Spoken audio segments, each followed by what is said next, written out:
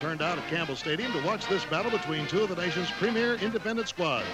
Florida State in red over gold, Pitt in white over gold. Midway in the first quarter, no score, but quarterback Dan Marino changes all of that. Look at that catch in the end zone by Dwight Collins between two Florida State defenders, and the Panthers take a 7 to nothing lead.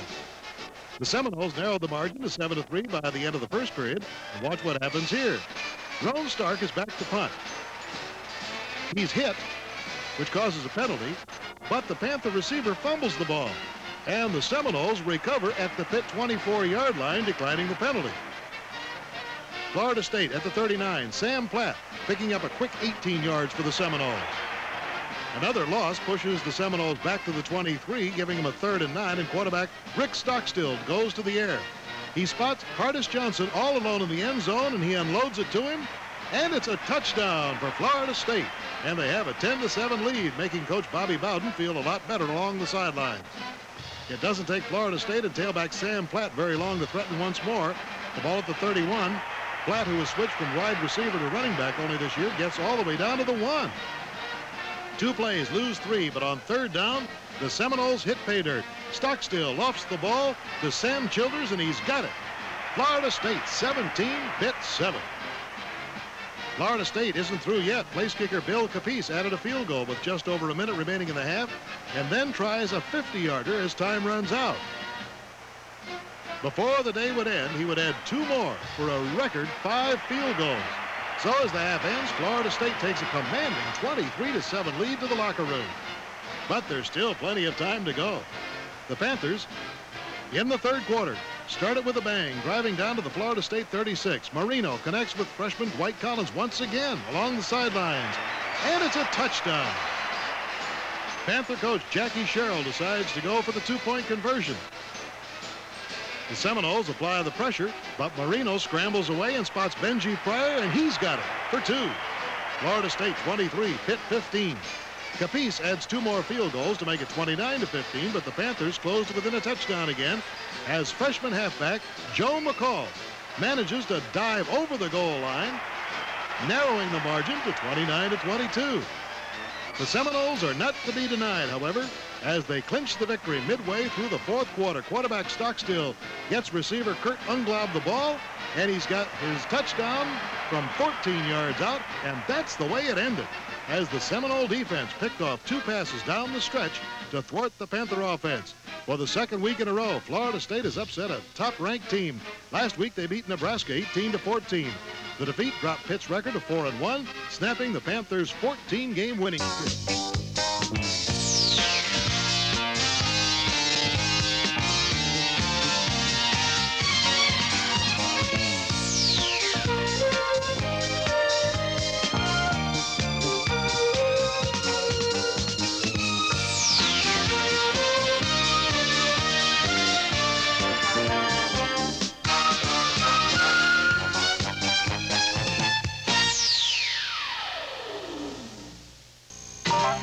Presenting.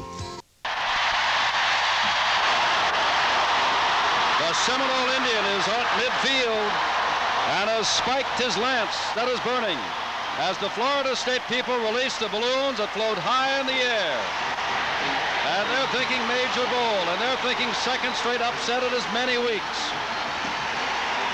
The toss of the coin has already taken place, and to the delight of the capacity crowd here, Florida State has won and will receive. The temperature at midday in the middle 80s, and moments ago, as we told you, the Florida State toss of the coin was won by the Seminoles, and that'll give us a chance to take a look at the referee and his staff. The referee is Paul Schmidt out of Louisville, Kentucky. The linesman, Jim Mahan out of Cincinnati. The field judge, Bill Lang of Park Ridge, Kentucky. The umpire, Donald McDonald of Baltimore, Maryland. The line judge, Thomas Adams of Florence, South Carolina, and the back judge, Dennis Phillips of Upper St. Clair, Pennsylvania. And now you can see Paul Schmidt saying it belongs to you, Florida State. And coming out to kickoff will be Dave Trout for Pittsburgh. Pittsburgh 4-0-0. They defeated Boston College in a tough opener. They took Kansas 18 to 3. And Jackie Sherrill told Bud Wilkinson that they had some injury problems in the early going. Then they got rolling against Temple 36 to 2, beating Maryland 38 to 9. For Florida State, they're 4-1 0, losing only to Miami 10 to 9. When they elected to go for the two-point conversion in the fourth quarter, it was not good. But they bounced LSU 16 to nothing in the first game, Louisville 52 to nothing in the second, trounced East Carolina 63 to 7. But everybody is talking about last week's win over Nebraska 18 to 14 after they trailed 14 to 3 at the end of the first half. And now Trout to kick it off.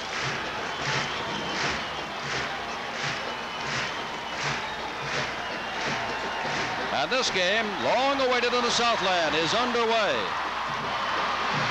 Whoops.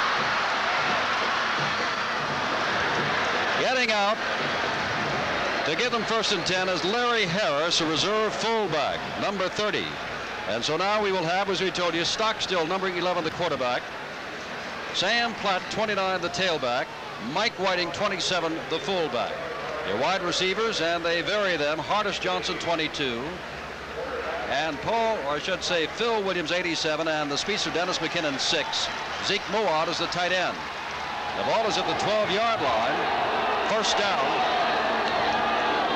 And Stockstill comes out throwing, and there's Hugh Green. We talked about him before the game, Jim. He really was not lined up as a defensive end before the play started. He sensed what was going to happen, moved up on his defensive end position, came in untouched, and of course, Stockstill had absolutely no chance. A loss on the play of 10 yards. at It is second down and 20. Greg Meisner, Jerry Boyarsky, Bill Neill, and Rickey Jackson run out that front five with them. Sunseri and Fedell, the linebackers. And we've got some reserves in the defensive backfield. We'll give you those in a moment. Now let's see if Stockstill, Stockstill will throw from the end zone. Instead, he gives to his fullback, who's Mike Whiting, who picks up a yard or so and it is third and long. Now, Terry White, the left cornerback, is out with a knee. So Pappy Thomas, number nine, is starting at the left corner. And their strong safety starter, Carlton Williamson, is out with a foot injury. And so Dan Short moves up to the strong safety spot. Trocano, a reserve quarterback, and Lynn Thomas, your other men in the secondary. Phil Williams goes wide left. Hardis Johnson to the right, third down, nearly 20 yards to go. That is Platt, the tailback, getting across the five-yard line to about the seven. And we're going to get an early look at Rohn Stark, who will come in to kick it away. That's the typical Pittsburgh defense. They're fourth in the country in total defense. They're second in defense against the rush. They've given up only 65 yards per game against the running attack. That's an awesome defense led by Hugh Green. Rohn Stark will be in the end zone, number three, out of 50 Lakes, Minnesota, while Tom Flynn, a freshman, number five, out of respect to him, is already back in his own territory. The rush is on. Not a great kick. And it takes a Pittsburgh bounce and will be knocked out of bounds. And let's see where the officials mark it. Had a 10-man rush, Jim. He didn't quite have the time he would like to have had to kick the ball. Jackie Sherrill, the coach of Pittsburgh, knows that he must put pressure on. And so we now start with excellent field position for the Pittsburgh Panthers. Dan Marino 13, Rooster Jones 2, Randy McMillan 40, the backfield. Willie Collier number 4, Dwight Collins number 32, your wide receivers. Benji Pryor 84 the tight end and the tremendous line of Covert and May, Theda and Boris and Grimm at center. Grimm weighs 270.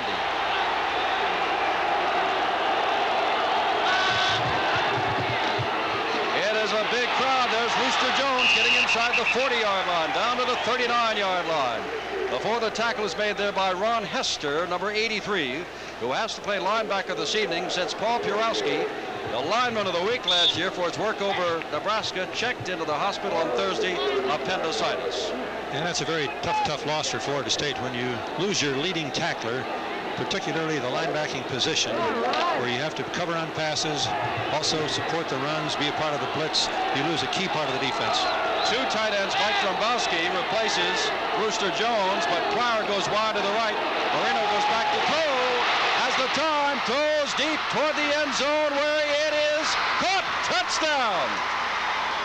And that is number 32, Dwight Collins, the freshman flanker, who caught two touchdown passes last week against the University of Maryland. And Marino was right on target, a 39-yard touchdown pass. And Bobby Bowden said, you know they're going to hit the big one. He can't be covered much better than this and get two men on him. Pass appears to be well, well covered. He goes up in the air between the two defenders and uh, we were told, as Jim has already mentioned, that he did that last week, and it appears that he's got the jumping ability and the timing to get the ball at its highest point that makes a great receiver.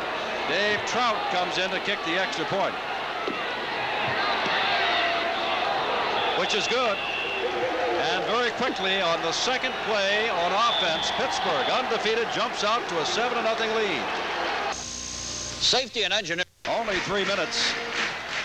And 49 seconds have gone by. Always bothers you from a coaching standpoint to get one that easy that early. You hope that your team won't let up.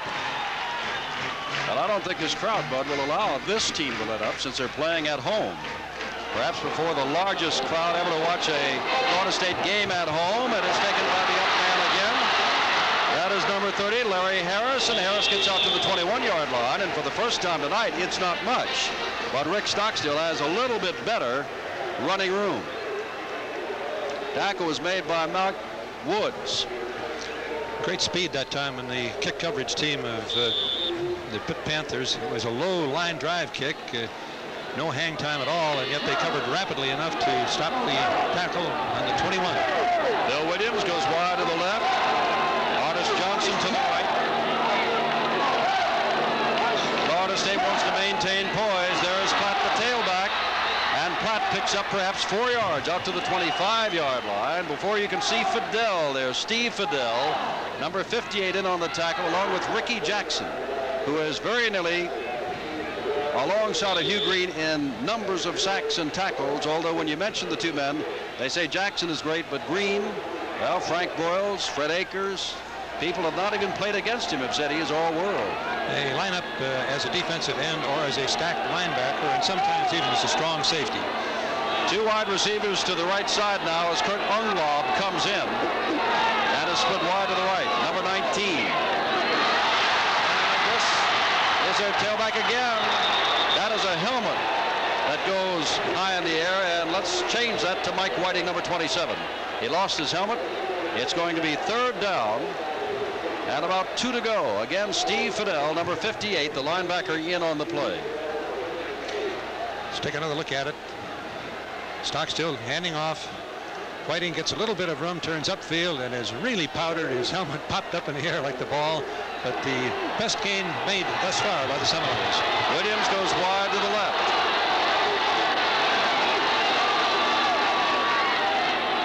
Right ahead goes Whiting, and I believe he is short of the first down, but we'll allow the officials to mark that. Greg Meisner, number 86, the big left tackle in there. And I think he needs about a half a yard, Bud. Tight end uh, Mowatt lined up on the wrong side that time.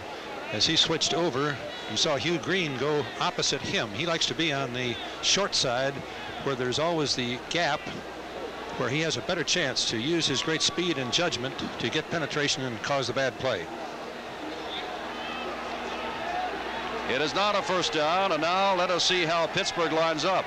With Stark having to punt from his own end zone, they put a 10-man rush on him, and he did not get away a great kick. One of the times last week against Nebraska, against the win, he kicked the ball 59 yards. Tom Flynn is the deep man, Tim Lewis and Lynn Thomas the up men, as Rohn, and he spells his name R-O-H-N, Stark, stands at his own 17. 7 to nothing. The Panthers of Pittsburgh lead early. In the ball game, and that is Flynn at the 24-yard line.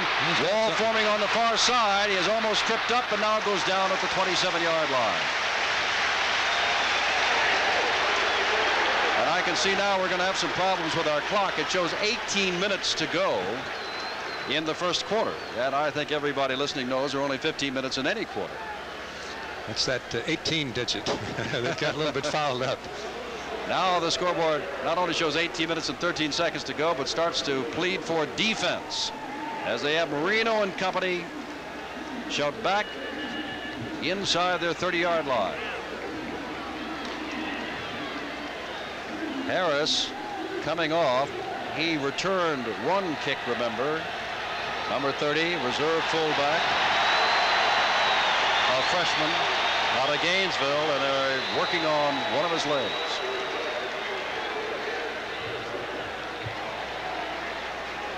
Appears we have a penalty, and I didn't see the flag go down. Well, we'll be told in a moment by Paul Schmidt, the referee, what it is. Obviously against Pittsburgh.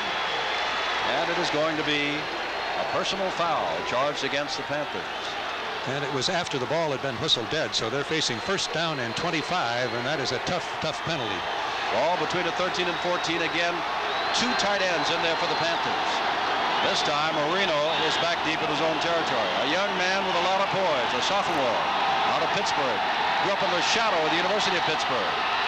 Marino hands off to his fullback, McMillan, who turns a corner and gets across the 40-yard line and is knocked down there by Arthur Scott, who has been bothered with ankle problems, number 54, but has come back in. There he is in your picture to take over the left end starting position.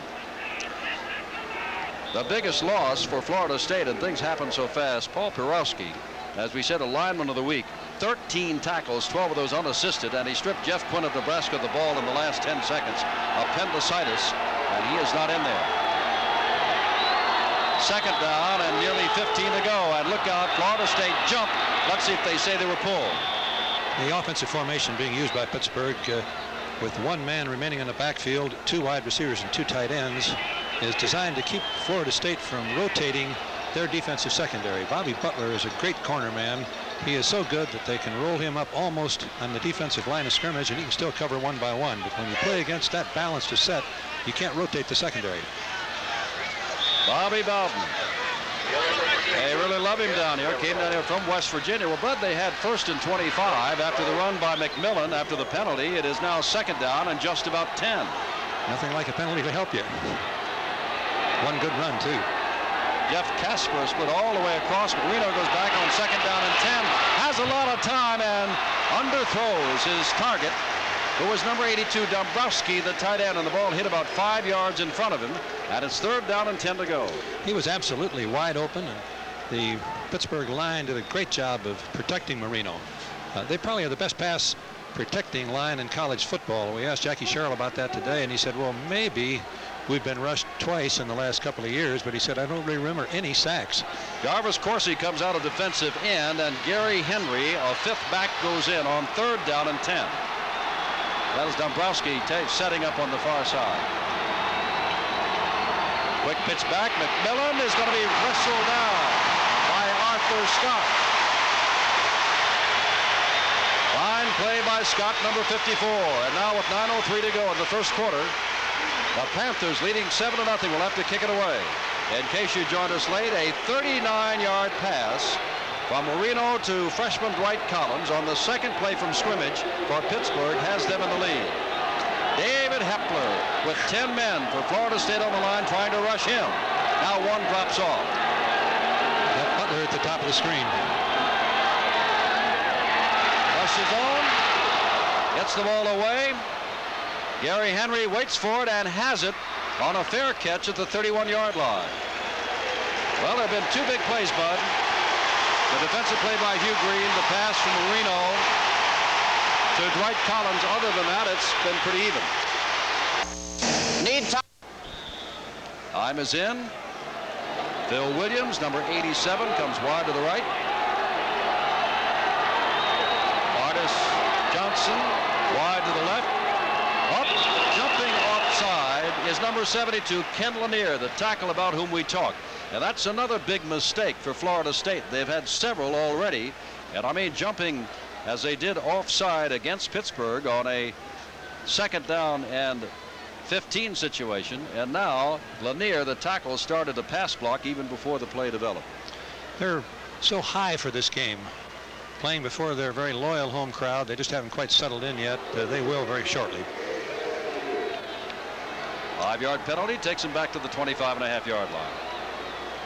8.27 to go, first quarter. Jim Simpson, Bud Wilkinson.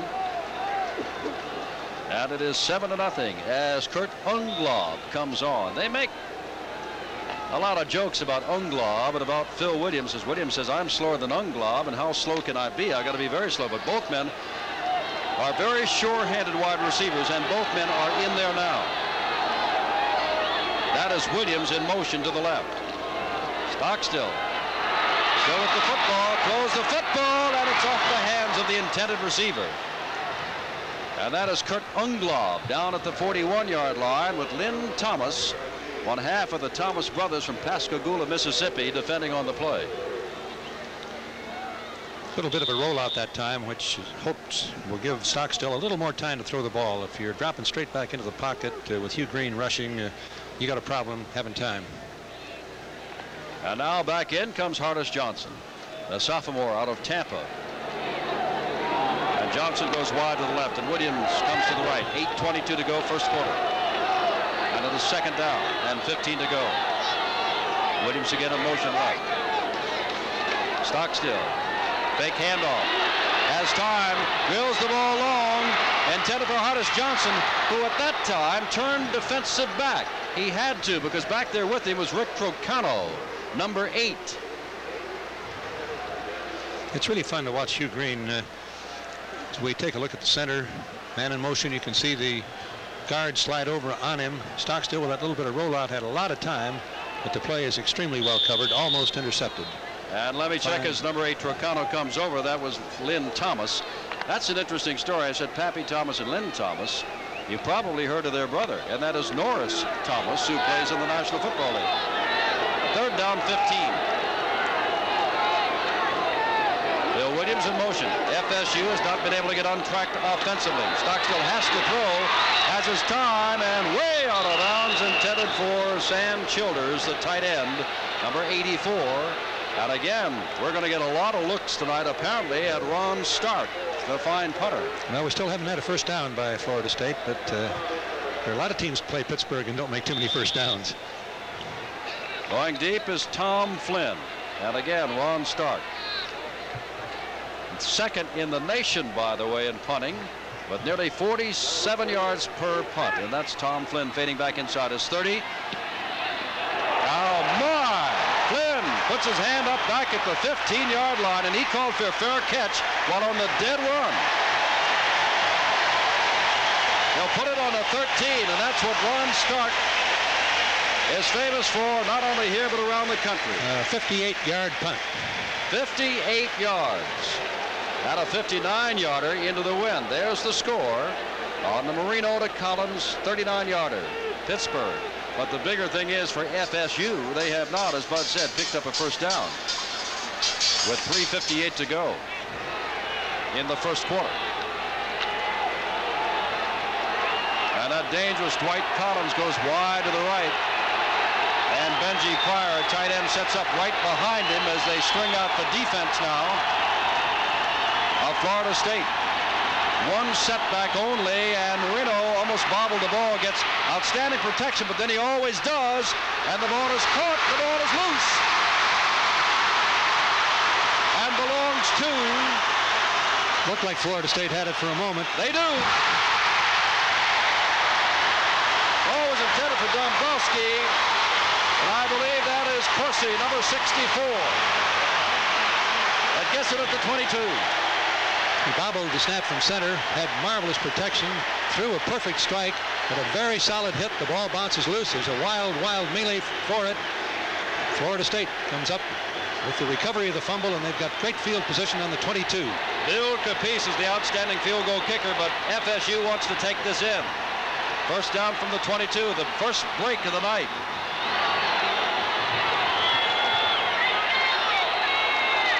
Nobody in motion. That is the fullback Whiting. Whiting breaks the tackle. He's inside the 10-yard line. Down to the 7-yard line goes Mike Whiting, the junior out of Largo, Florida. And that is first and goal to go. Beautifully executed draw play, Jim, as we take a look at it again. When you got the big, big rush on, your penetration carries you past the blockers. Fine job of carrying the football, fine execution, and that's first down, and the first first down made by Florida State at a time that couldn't have been more welcome. Williams goes wide to the left. Unglaub is in and comes to the right. And This is Putt. Big hole inside the five, down to the four. Maybe they'll spot it at the three. And that hole closed up in a hurry. They are always very conscious of where Mr. Green is, and on the short yardage situations, I don't think they'll be coming at him. Not a team all year long. Of the four they have played, has scored a touchdown rushing against the Panthers of Pittsburgh. Florida State, second down. They spotted the ball at the four. Williams is wide to the left. Two tight ends in there. Stockstill hands, and that is Whiting again, and he may have picked up a half a yard, and maybe here too. It will be that no one scores running against Pittsburgh. Steve Fedell, the strong side linebacker, number 58, made the stop. It is third and goal to go. They've marked the ball still at the four as Dennis McKinnon, a sophomore wide receiver, number six, comes in replacing Phil Williams.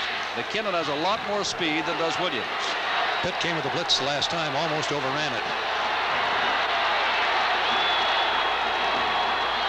Like the blitz is on, gets the ball away to Whiting, and Whiting's going to be thrown for loss. It is fourth down. Hugh Green took dead aim on Stockstill. And Meisner threw the runner Whiting out of bounds. Beautiful defensive play. You can watch the blitz. Both linebackers going. Man-for-man -man coverage in the secondary. Good call with the screen pass, but the man-for-man -man coverage is right on top of Whiting. And then support comes with a man who is supposed to make the play, and it is no gain. Bill Capece has kicked more field goals than anybody else in the major college ranks, has kicked another one. He is now 10 for 11 as Capece kicks the field goal. And it is 7 to 3. Pittsburgh leads Florida State. 5.45 to go. Tallahassee 27, WECA TV. 5.29 to go, first quarter. And Artrell Hawkins is the deep man, number 12, as Capece will kick off. Normally, he kicks the ball out of the end zone. They expect perhaps the biggest crowd ever to watch a Florida State game in Tallahassee here tonight. And why not? Depending upon which poll you watch, it is Pittsburgh third in the nation or fourth in the nation. And Florida State, after their fine upset win over Nebraska with a win tonight, would certainly vault into the top 10. They didn't make very much yardage against Nebraska, but uh, the second half was somewhat indicative of the three points we just saw. Nebraska turned the ball over to them four times. They did get four field goals plus a touchdown. Coach, you always told me you look at the scoreboard, not at the statistics. That's what you do uh, all of the time, but uh, when you're on the short end, you look at the statistics. 5.29 to go. To our right, we can see still in the dusk the state capital of Florida as we look to downtown Tallahassee. And all of northern Florida is excited over the Seminoles. 11 and 0 last year, only to lose to Oklahoma in the Orange Bowl, their first major bowl ever. And had they not tried for the two points against Miami, and had there not been an interference penalty in the end zone, maybe they would be in this ball game tonight 5 and 0. But those are all the ifs and buts, etc., etc. The point is they trail Pittsburgh, and the point is Pittsburgh is the team that is here undefeated thus far. All right, time is back in. Capece ready to kick off.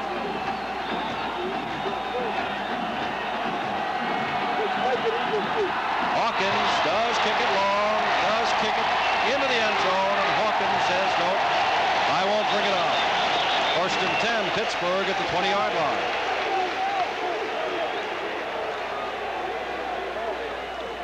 The Steelers, under Johnny Majors, who's now at Tennessee, and under Jackie Sherrill, in the last half dozen years or more, have just been outstanding.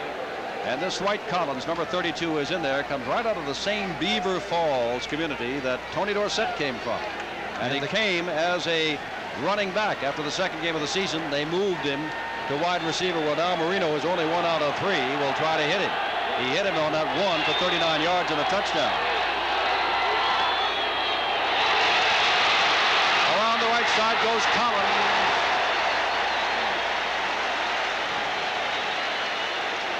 At number 50, Ron Simmons, who was not expected to play too much tonight, makes the stop. He's got great speed, Jim. If we watch him again, it appears that the corner is turned But Simmons has got speed enough to run with the back, catch him from behind, and he stops Collins. That's not the name of a television show. That is incredible. He's not supposed to be able to move too fast. He's not supposed to be able to catch Collins, I guarantee you that. Brown is now coming as a wide receiver number 18. Second down and seven. Look at the time Marino has and hits his man at the 37-yard line. And that is number four, Woody Collier, the split end. And that is a first down for Pittsburgh. And I'll repeat something that I said. We asked Jackie Sherrill, I said, Jackie, as you take a look at this, I understand, watch Marino here, that you haven't been touched in two years, your quarterback. He said, well, maybe we have, but only a sack or two or maybe three in two years' time. And you can see the time Marino had there to get the ball to Woody Collier. Their offensive line is not only very, very well coached, they're big and strong. Seven to three. There's Jackie Sherrill. Pittsburgh leads still first quarter. Marino has all the time in the world looking for Collins. The ball is on the throw. He's back there to make the catch at the 37. He came back under. The coverage was behind him, and Butler makes the stop. He was a better outfielder than the Florida State defenders. Marino getting the ball, that single setback. Doesn't really get his arm into this one too well. No rush. Then he finally gets a little pressure as he delivers the ball. It was a high, kind of crippled pigeon type. The ball was so short, he was able to come back under it. And let's take a look at Marino and see if they actually did get to him. It's something he's not used to.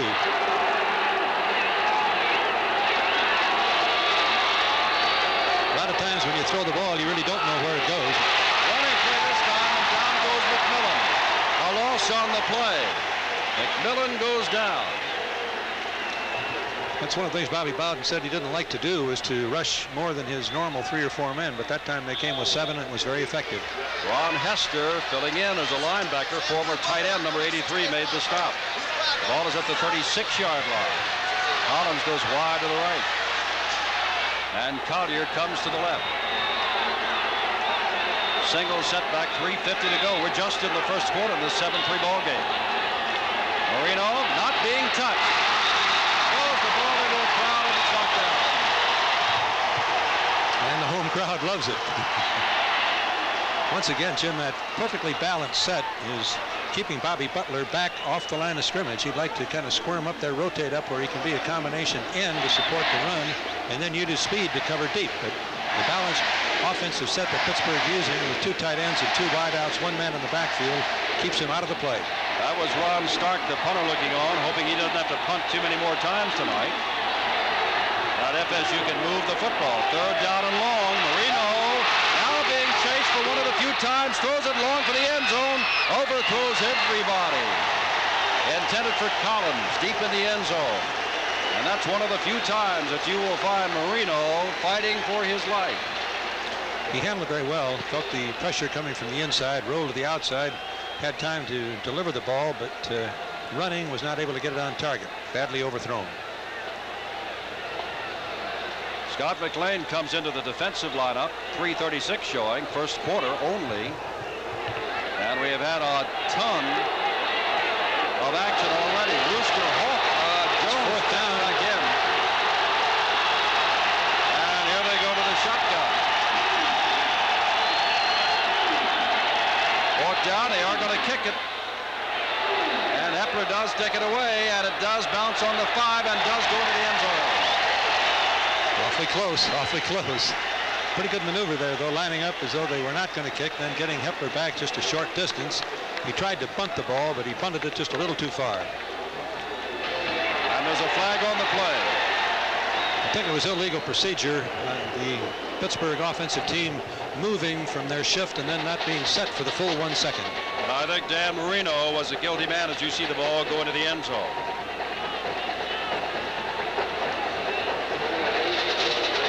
That is Greg Futch saying we don't want that. We want the football at the 20-yard line.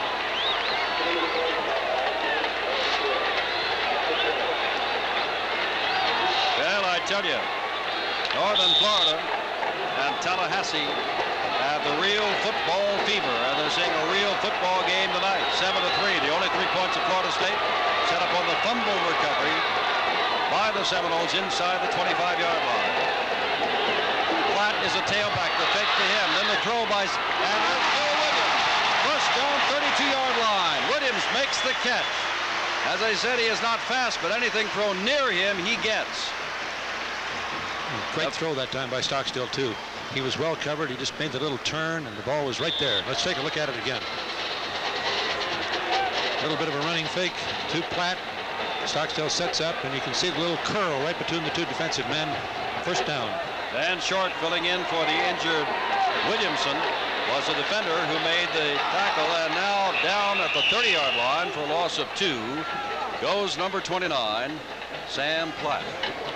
We said before the game, Jim, that neither of these teams had run the ball particularly well, and that certainly seems to be the pattern thus far. Both of them throw it extremely well, but their running attack leaves little to be desired. Well, we could talk about the defense of Hugh Green. We could talk about the kicking of Rohn Stark. But I'd like to talk about the protection that Dan Marino gets when they're on offense. It is incredible. He stands back there all day long. All right, third down. Check that. Second down. Whistle blows. Flags go down as Stockstill is ushered out of bounds by Hugh Green. I think we had some movement in the offensive line. Caused the defensive reaction, but uh, sometimes it doesn't get called that way. Let's take a look at it. I don't know that I saw any movement that time. I, the Pittsburgh man said he thought the center moved his shoulder. The officials are now trying to decide.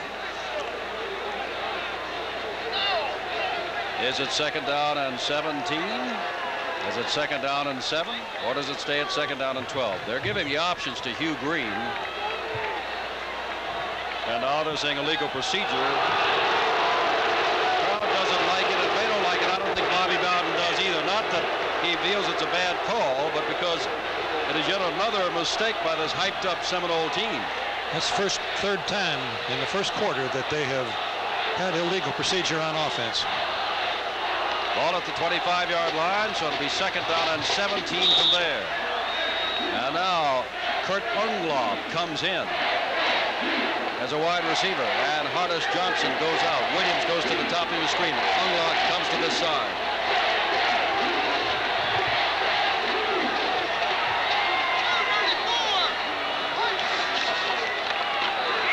Stockstill, Green trying to get to him. Good job on Green, gets the ball over. There is his tight end, Childers, and Childers is out near the 30-yard line. They mark it at the 26-yard line. Green really gave that one a great rush. He forced it. He took the inside pattern. Stockstill felt him take the inside pattern and had the very good judgment and good reflex to roll it outside of Green and hit the pass, although it was kind of a do or die situation. Only picked up two yards on the play.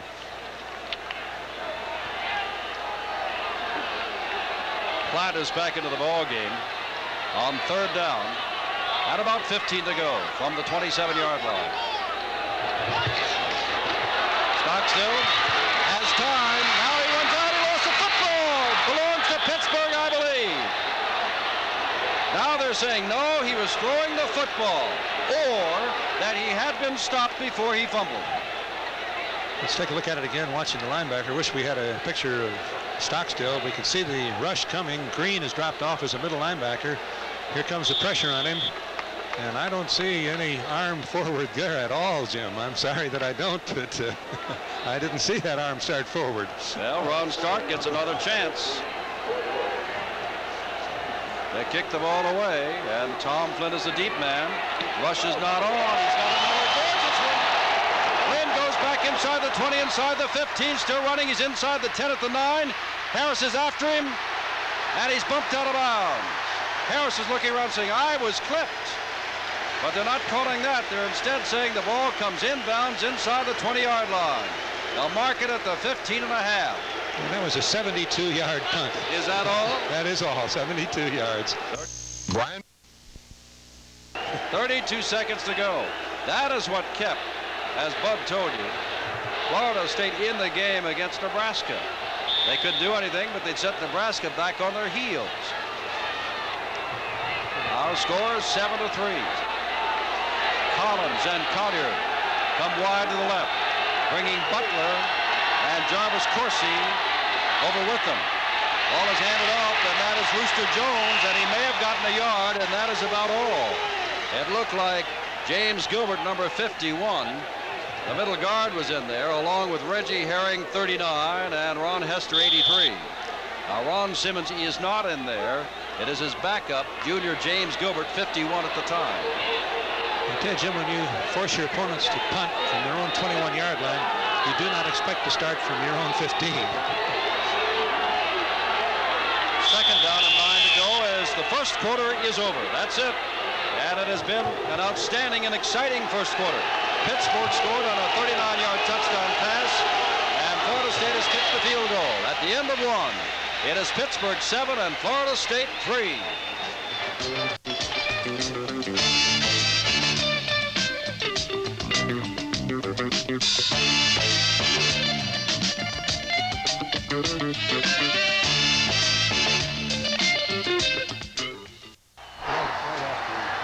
Start the second quarter, second down nine, and there's a running play. Rooster Jones breaks it across the 30-yard line, and down he goes with a saving tackle, but he got him out of a big hole. Bobby Butler, number 21, came up, and that is the longest run of the night by uh, Pittsburgh Panther Rooster Jones. Carries it out to the 31-yard line, and it is first down the Panthers. That's the kind of thing that you need to do to get the offense balanced up. Uh, statistically, Florida State has had a very balanced offense. In their first four games, they are only two yards difference total rushing from passing. Dan Marino with one setback. He's got the time. He throws the ball deep, and this may be caught by Collins. It is. Bonasorte, who is from Pittsburgh, fell down, and Collins fell down and caught the ball as he fell at the 25-yard line. And here come the Panthers. And Bobby Bowden is wondering, how can it happen? Well, it's not supposed to happen when you got the man covered. Quarterback dropping straight back. Collins just runs a little post pattern. It looks like Bonasorte's got him, but he doesn't have the speed at the last moment as he turns in Collins and makes a great, great catch of the football, falling as he makes the reception. We asked Jackie Sherrill how fast is Dwight Collins. His answer, about as fast as he wants to be. Or has to be. First man through, down to the 20-yard line. He goes McMillan, Randy McMillan in a market at the 22-yard line. Let's say a gain of three, second down and seven. Early here in the second quarter. I'm Jim Simpson with Bud Wilkinson, and we have a game involving undefeated Pittsburgh and once beaten Florida State by a single point Miami, by Miami and the team that upset Nebraska a week ago. Rooster Jones comes back in. And now checks quickly out as they bring in Dombrowski as second tight end. And there is their fullback, McMillan, who doesn't get anywhere. Ball is dropped and belongs to Florida State. And that is number 54, Arthur Scott, who's been out with the ankle injury, who has been an outstanding player tonight. Second fumble. One of them cost Pittsburgh three points. This may have cost them three or seven of their own. Oh, now Rick Stockstill will try to get it going. Sending Williams wide to the right. It's a quick handoff. Ball is put in, but bounced off. Never came close to making the proper exchange. Stockstill hands off and whoops, going absolutely nowhere. Here's Mike Whiting. Getting up in front of him is Ken Lanier, 72, trying to handle the blocking. And there's Sunseri, the linebacker for Pittsburgh, who was behind the whole thing, along with Boyarsky. And so that is a gain of, well, to be generous, a yard. Second down and nine from the 23-yard line. I think the reason Bobby Bowden was shaking his head is both the touchdown pass and the last long pass to Collins really were quite well covered. It was just a remarkable catch in both cases. Dennis McKinnon is in and now is in motion to the right. He is a speedster, but it goes back to the tailback Platt, who used to be a wide receiver himself. Platt gets out to the 28-yard line. It'll be third down and four to go. Lynn Thomas, number three, ran him out of bounds, and then pats him on the head. Platt was a wide receiver, been a running back in high school and wanted to be a running back here. Said he didn't like to be a wide receiver and then got his chance and is now a running back. Williams comes back in and Unglaub comes back in, numbers 87 and 19. And on third down and a short four at the 29-yard line. Florida State, remember, trailed Nebraska 14 to 3 at the half last week before winning. There's Stockstill. Flag is down as he overthrows his man and is almost intercepted by Trocano. Great rush by Pittsburgh. Flag is down, remember, at the 28-yard line. I don't believe, Jim, that the offensive line for Florida State ever got set. And that's going to be their fourth illegal procedure or motion penalty in the first 18 minutes of the ball game. The way Pitt's rushing them, uh, they're trying to get a bead on who's coming from where. And that time when they were trying to get that set up, they didn't take their three-point stance quickly enough. Tom Flynn goes back, and now hold your breath, folks, because here comes Rohn Stark again. Last time he was only over 70 yards. This man can keep a team in a ball game or force another team out of the ball game, and it is almost Gets the ball away. Stark is knocked down. It is going to go over, I believe, to Florida State. Now they may take it because there's a fumble at the other end, and they can take the play instead of the penalty.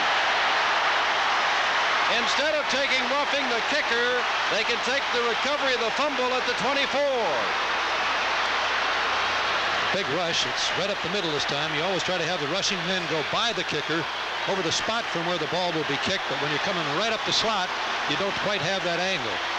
If you touch the kicker and do not touch the ball, it's a penalty, but the fumble downfield, of course, will be taken by Florida State.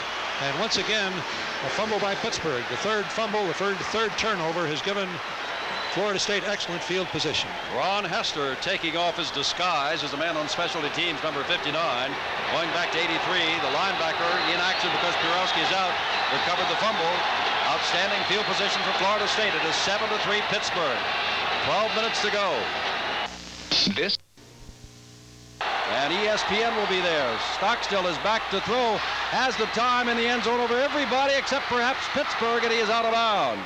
The man who went back trying to intercept the ball was Trocano, and a flag is down.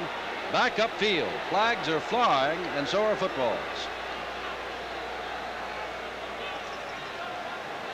And they're calling the penalty mm -hmm. against Florida State. Illegal hands, I believe, but I'm not quite sure. Didn't quite catch the signal. Well, we will soon get it. You know, most official signals are standard, and some do a little variation, whether they realize it or not. This is Paul Schmidt. I think what he's saying is it's a crackback block. That's correct. Crackback block on the play takes the ball to the 39-yard line. They've got to get inside the 15 to get a first down. That's yet another mistake. Florida State is piling them up, but they're still in the ball game, and we got a long way to go. Stockstill, hands off, and there goes his tailback right all the way down to the 21-yard line. It'll be second down and about seven to go. They had the rush on, and as we've talked a couple of times, anytime you're pouring in there, if the ball carrier breaks past the seven-man rush, as he does here, there's very little support downfield. Big, big opening. The safety man has to come up, make the tackle. A very nice cut. Finally, Sam Platt comes across, Penn Platt, the ball carrier, rather, and the tackle is made after a great gain. Second down, seven to go. Stockstill hands the ball to Platt, and wow. You know what I was about to say as the tackle is made there by Meisner. The name that I've not called recently has been that of Hugh Green. After that one outstanding play, he has been pressuring the passer. He's very much in the ball game, but they are really teaming up to stop Hugh Green. And he's bouncing around enough that uh, it's very hard to locate him. He's on end sometimes, he's a stacked linebacker sometimes, and then he's kind of a rover at other times. Just look for the number 99. Otis Johnson goes to the right. It is third down and nine. The ball inside the 25-yard line. Stockstill back. Goes the ball, and he's got his man. Hunter Johnson.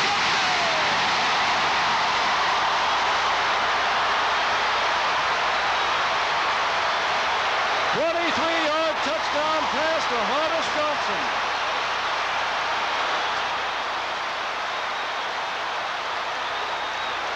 Let's take a look at it again. A little bit of a running fake here. Throws the defense momentarily. A very, very hard rush. Stockstill makes a great throw. Johnson is open, and it is a touchdown. And now, Florida State finds itself in the lead. Both scores helped along by fumble recoveries. Capece in to add the extra point and does so.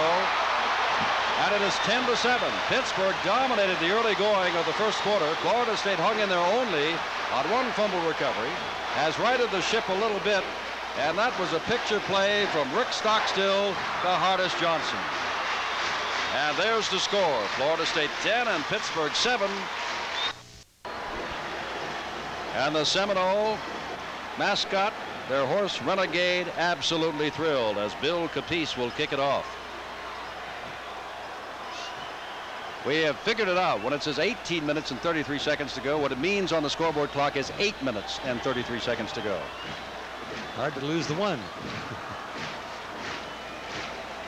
Bill Capece. And in the end zone will be Artrell Hawkins. Last time he had no shot at all at returning the ball because it was too deep. This one he may at the goal line decide to bring it out. He drops the football. The Florida State team is down there and down goes Hawkins at the seven yard line. Now Pittsburgh is showing a few cracks at the seam for the first time tonight. They're playing in a very difficult field position. On the first series of downs, Green made a great play and threw Stockstill at the two-yard line after a very short kickoff return by Florida State. When they punted, the Panthers got the ball on the 44-yard line as we watch the ball being bobbled here in the end zone. Everybody now gathers around the ball. Can't quite tell who's going to pick it up. They have a little meeting, decide somebody's going to get it, and by now the Florida State defense has penetrated downfield and they get the kickoff return to only the six-yard line. Maybe they had a little meeting and decided somebody had better get it. That's right. now Marino might have taken too much time, and he may be complaining that it is the crowd. But now he is having a discussion with Mark May, his right tackle. And now the Panthers begin to make the mistakes, letting Hardis Johnson loose, then dropping the kickoff, and now a penalty called when they had a first down on their own six-yard line. And Dan Marino, the sophomore, will try to regroup them. They move the ball back half the distance.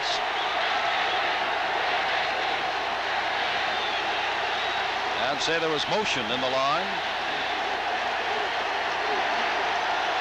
And once again, Marino says we cannot hear the snap count. This time the referee agrees with him. We cannot hear the snap count, so it's an official's timeout. From the end zone, first down. Marino will try it again. Running around the yellow. He too much time. Now he throws the ball out here intended for Woody Collier at the seven-yard line. And that'll get them a second down and eight situation. Funny thing, in talking to Jackie Sherrill this morning, he said, listen, let me tell you about the Florida State crowd. It is an outstanding, enthusiastic crowd, but it is not a mean crowd. He said, I love to play down here, and you'll enjoy them tonight. I don't think his team enjoys it so much down at that end of the field at the moment. Well, when your team goes ahead, uh, your crowd's going to be enthusiastic, and it's hard to be quiet. All right, Marino with the football. Marino gets it away. Marino for Collins, and it is no good.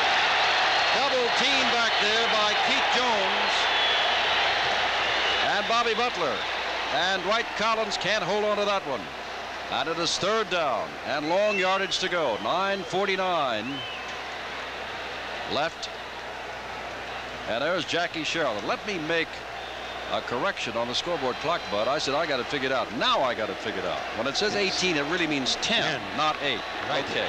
because there are 9 minutes and 49 seconds left in the first half, where the score is 10 to 7, Florida State. Setback now. And now the Florida State team is saying, hey, come on, folks. Let them play. Marino pumps once, in trouble, gets the ball out on a delay, and down goes the man who caught the ball short of the first down. And that is number 84, Benji Pryor. As James Harris, number 33, the cornerback, was there to get him. And it is fourth down. And now Dave Hepler will have to come in and kick it away. And he's been watching Rohn Stark of Florida State have an outstanding night. The Seminoles play with great enthusiasm, and they've really caught fire after making the go-ahead touchdown. Gary Henry, a very exciting punt returners at the 45-yard line for Florida State. Pittsburgh unbeaten, ranked in the top five, having a short medal tonight. The rush is on, and Henry's going to watch the ball hit and take a Florida State bounce back near the 45-yard line. But it's first down for the Seminoles of Florida State. 8.51 to go, and listen to this crowd. Their team has held on. The fans here have gone big time lately, and they're happy about it. 11-0 last year in the Orange Bowl. And last week upsetting Nebraska. This week at the moment at least leading Pittsburgh by the score of 10 to 7. But there's a long way to go. And Florida State is trying to prove. Now this school was just chartered in 1947, so there's not a long tradition to this school in playing football. As there is, for example, a great tradition of Pittsburgh. Jock Sutherland, if you come back to the glory days of Pittsburgh, the national championship won by Johnny Majors' team. Jackie Sherrill's team bidding for it this year. Florida State is playing this game just like they did last week. Uh, turnovers giving them the lead at this point in time as turnovers gave them the victory against Nebraska. Bill Williams wide to the right, Unglaub to the left. Williams the man in motion. Stockstill on the pitch back to. Platt breaks it down near the 40-yard line. Picking it five yards on the play. It'll be second down five. Hanging on for dear life was Rickey Jackson, number 87. The basic play out of the I formation, man in motion to keep the secondary support down a little bit. The toss back to Platt. He turns it up inside, finds a little opening, accelerates, lowers the boom, gets five yards on the play, two with extra effort. Second down and five. All on the 41. Second man through is Platt. Platt's got the first down. Inside the 35-yard line. And this time it is number 29, Dan Short, taking over for Carlton Williamson at strong safety, making the tackle. And remember, for the Panthers, Terry White, their starting left cornerback, is not playing, knee injury. And Carlton Williamson, their starting strong safety, is not playing foot injury. Both are expected to be back next week when it's homecoming at Pittsburgh and West Virginia comes to town.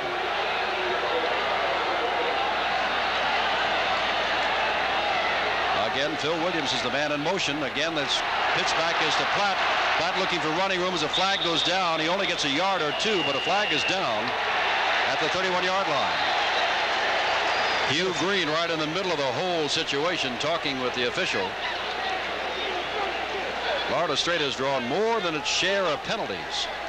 That's better than more, more than your share of fumbles. Aha, which the Panthers have done. Each team has had a touchdown pass. The difference is Bill Capece's, Capece's field goal. Well, they're going to have a little discussion here. He wants to be sure that he's got the right information before he makes his decision. Holding, charged against the Seminoles. And now, personal foul charged against Pittsburgh. So it is still first down.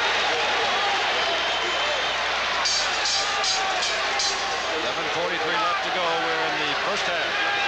And there's all world, Hugh Green. They line him up everywhere. Down lineman and now Stockstill looks to the sideline. Williams comes over to the sideline. And McKinnon is going to replace Williams. And Stockstill is saying, okay, here's the play I've done it, McKinnon. Dennis McKinnon. Ball is inside the 33-yard line. And are they glad to see that man, John Madden, back. Been out with an ankle. Senior starting center. Quick pitch back. That is Platt. Platt gets a good block. Gets down near the 30-yard line, a gain of three yards. It'll be second down and seven across the way. And there is Fedell again. Steve Fedell, number 58, the senior linebacker, who made the stop. And Rickey Jackson also floated over there, number 87. Looked to me like he had an opening, but the pursuit was so fast that as he turned upfield, it closed before he could get through it. Hardis Johnson goes wide to the right. Williams comes to the left.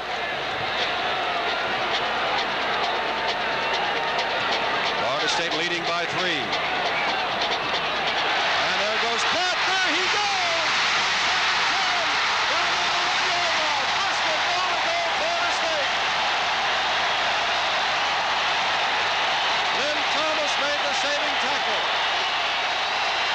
Great, great job, Jim, reading the blitz by Pittsburgh. You come all out to rush the passer. You don't have the ability to slide with the play to get the proper angle of pursuit against the run. They keep overrunning it. Let's take a look at it here. Just a handoff. Everybody's trying to pressure going inside, and there's nobody left upfield to move laterally to get over in front of Platt. Looked as though he might take it all the way. We get a very rapid close, and he's stopped on the one-yard line. Nobody has carried the ball in against Pittsburgh all year long, rushing with the football. And down goes Stockstill, hit first by number 66, Sunseri. And I believe the ball belongs to him. Stockstill, I tell you, Sunseri is like a running back for him. He was in the backfield as quickly as Stockstill faded back. Stockstill did a great job to keep the football. Takes the ball from the one back to the five. It is second down a goal to go. Let's take a look at it. You can see the gap being shot right here. He doesn't have time to hand the ball off. He's very, very fortunate to not fumble the football. He did drop it, but gets back on it. Right, quick pitch back. Here comes Scott, and he is tripped up and gets inside the five. And it'll be third and short. And that time, Hugh Green and Rickey Jackson were very much a part of the play. Jackson talking to Platt. Was from Jacksonville.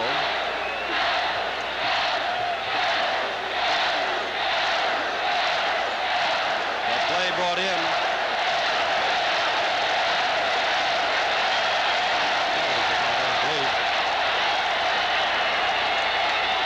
This is third down. Stockstill throws it out in the end zone. And it is caught. Number 84, Sam Childers. Florida Moves out to a lead that is unprecedented, doubling the total point of any team has scored against Pittsburgh all year long. When you start out first down on the one-yard line and wind up throwing and third down from your five, you know how well they play rush defense. Stockstill pumps, throws. Kelly is open in the end zone, backing up, and he makes the reception, almost intercepted, but the timing wasn't there defensively. It was there offensively. Bill Capece is now 19 for 19 and kicking extra points. And the Pittsburgh team, remember, broke on top 7 to nothing, and Florida State looked as though it was going to be a long, long night. They could not get a first down. Then Pittsburgh began to drop the football, and Florida State began to pounce on it. And most notably recently, there have been the runs of Sam Platt. And on each occasion, and who knows what the defenses are and whether they've rotated one side or the other, but on each occasion, the touchdown pass has come in the far right-hand corner of the end zone. Now, whether or not the, the setup, the safeties, the cornerbacks, the linebackers had the same assignment each time, I don't know, but it's just a coincidence. They're both over in the right corner. I believe they were playing what we call cover five, uh, Jim, where you have two people playing deep and everybody else covering man for man. That's short, close to the goal line. You don't really have enough room, enough time to go for the ball. It's not in the air that long. Bill Capece has accounted for five of the 17 points tonight. His last kick was returned by Hawkins, who is standing on the one-foot line. Florida State is charged up. Capece puts a foot into it. Hawkins in the end zone will come out to the 20. First down 10.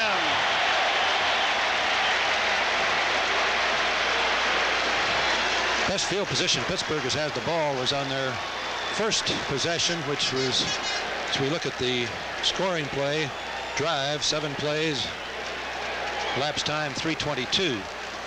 But the only time that Pittsburgh has had the ball on their side of midfield on an exchange was the first time when we had a rather short punt and they got it on the 44.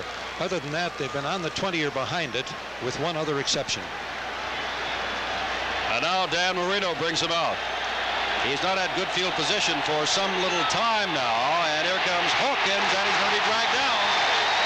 Hawkins on a fine play by Gary Futch, number 79. One half of the Futch brothers from Ocala, Florida, 6'2", 245. A loss on the play of a yard, back to the 19, second down at 11. Florida State is content not to try to rush the passer that hard. They're playing normal defense where they hit, control, and then pursue. Pittsburgh has been trying to get to the passer blitzing. They're getting so much penetration that on a few running plays they haven't been able to get back into the pursuit. Jarvis Coursey comes out. Gary Henry, the fifth back, comes in for Florida State on second and long. Running play, Hawkins with the football. Ron Hester, number 83, hit him first, and then everybody covered up. And they said that Hester was not a hitter, former tight end. Well, he made a hit on Hawkins then. Well, I don't think you play major college football if you're not a hitter. I don't think he's hits quite like Herring does, but as you can see here, as we get a little reverse play, Hawkins has the ball, and that's pretty solid contact. On his third down and eight to go from the 22-yard line. 4.19 left to go in the half, 17 to 7, Florida State. Marino, lots of time, fires the ball, and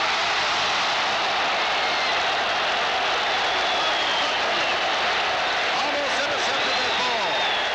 I think, Jim, that's the best throw he's made. Somehow Collins just didn't keep his eye on it. It went right between his hands when he should have made the reception. Let's take another look.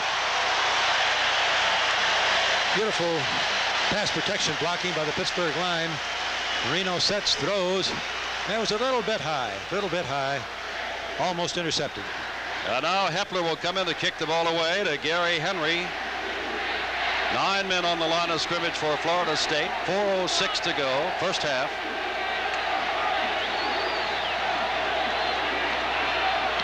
Butler trying to block it, cannot. Henry watches the ball come down to him at the 43. He's a good punt returner, but has no shot there. Excellent special teams play by Pittsburgh. And Florida State has excellent field position again at the 46. And time of possession was much in the favor of Pittsburgh in the first quarter, but I think at the end of this quarter, you're going to find it's changed a little bit. 32-yard punt, which contrasts tremendously with what happens when we have Stark kicking for Florida State. Phil Williams goes wide to the right in the 17-7 ball game. Less than four minutes to go in the half. Capacity crowd, halftime ceremonies coming up, and I'm sure that they will be royally received here because at the moment the Seminoles and their fans are having a wonderful evening. Whether or not it continues, we'll just have to wait and see. Williams in motion. Into the line goes their fullback. Check that. That is the fullback, but for the first time tonight, it is Ken Burnett, number 20, who has come in, and Whiting is out. Little fake pitch to the tailback and then handed off to the short man. Pittsburgh read it perfectly. Second down and nearly 10 to go. McKinnon and Hardis Johnson both come wide left. But that is Platt going the other way, and there's a fine play across the way by Rickey Jackson. You see Hugh Green and Fedell in your picture, but it was Rickey Jackson, 87, who made that play. And it is third down and seven. I'm sure that Jackie Sherrill is beginning to wonder, do we keep pressuring him? We've been burned so badly when we've penetrated too much as we watch a replay here. And we see Jackson coming across to make the tackle. And Green was held out of the play most of the time, but it is third down and 10.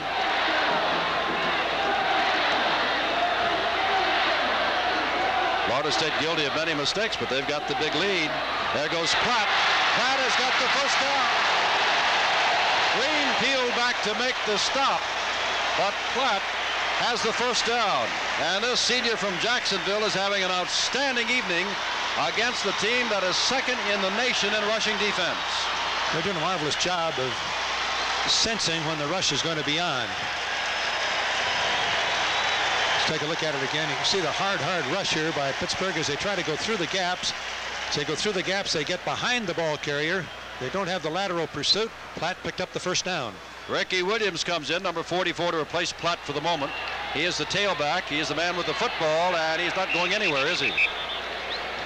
That front four did a fine job there, and there's Rickey Jackson again getting up. Jerry Claiborne of Maryland said after last week's game, they talk about Hugh Green. I agree with it. But add in Rickey Jackson, and you've got the finest pair of defensive ends I've seen in, well, perhaps my life playing collegiate ball. Hardis Johnson comes in as they bring in wide receivers with the plays to junior Rick Stockstill, who watched Jimmy Jordan and Wally Woodham play so well here for so long. Second down, nine to go from the 42-yard line of Pittsburgh. Stockstill still with the football. He's got time. He's got a man open. There's Mowatt. And Mowatt is inside the 25-yard line. The market at the 25 and a half. That's a first down. Pappy Thomas runs him out of bounds. Very tough pattern to cover. Fake one way, have your tight end cross the field on the other side as we watch it here. Fake going left, late draw. Stockstill turns, throws back to Mowatt, who's crossing the field, going against the grain, and he was wide, wide open. Picks up the first down and puts Florida State in field goal range. For Bill Capece, it certainly is with 128 left in the half. Florida State already up by 10. Stockstill still has the football. Goes deep. He's got a man on his way. He had beaten Lynn Thomas going down and then cutting toward the corner of the end zone, but Stockstill overthrew his man. That's the defense we were talking about where you drop two safety men back to simply play the ball. They get on the hash marks as we take a look at it again. The running fake froze the front men who are supposed to be covering man for man. That enabled the receiver to beat them and you can see that Stockstill is a little upset because boy he was wide open wide open. All right second down 10 121 showing on the clock.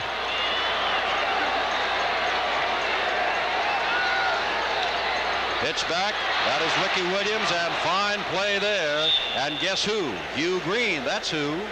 He must have heard me say that he hadn't been mentioned too much lately. Last couple of plays Hugh Green has been very much there. And it is a loss on the play on third down and 11 it's hard to make the tackle when they run away from you. Now Capece has great range, remember, but they would surely like to pick up, if not the first down, another five or six to get him a little bit closer with less than a minute to go. Phil Williams wide to the right. I'm going to be curious about how Pittsburgh plays it. Did they give it the big rush or play it normal? Well, here they come, and the ball is knocked down. Trying to get the ball out to Platt in the flat. And now they're going to send out Capece, and this will be a boomer, but Bud and I on the sidelines earlier watched him boom some balls to the uprights from 51 and 52 yards out.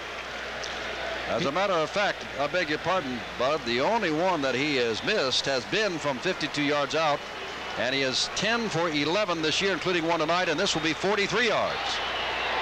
From 43 yards out, and another one.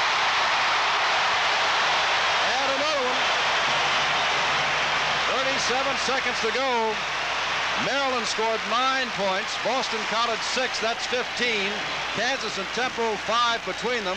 That's 20 points. And already Florida State has as many in this first half as has been scored against the Pittsburgh defense all year long in four games. 37 seconds left. Capece will try to put another one out of the end zone. His leg may be getting tired.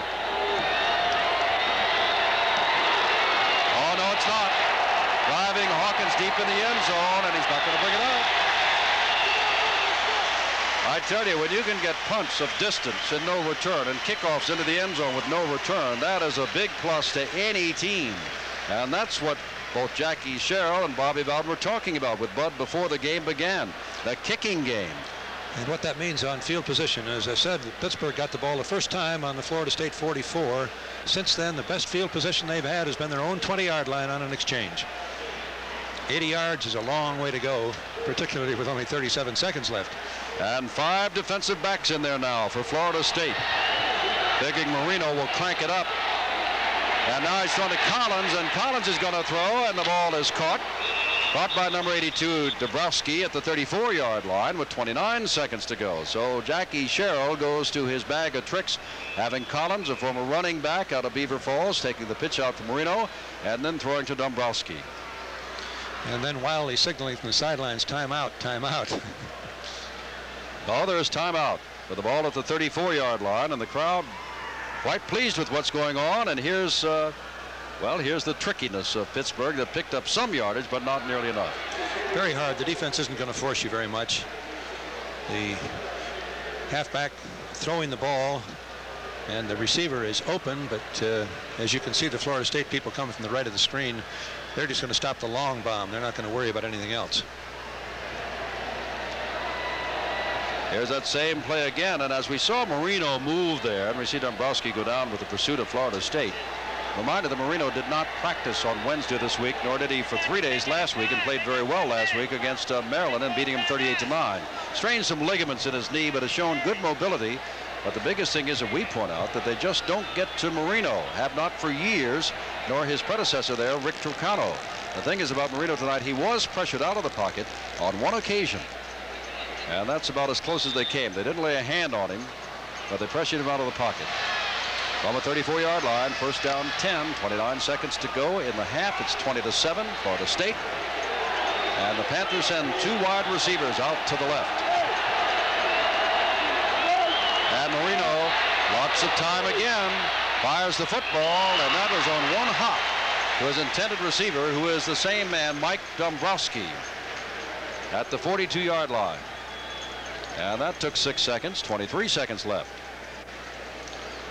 They've got to hit something in front of the three deep safety men as they rotate and then get a good run to get it down where they've got a chance for a field goal.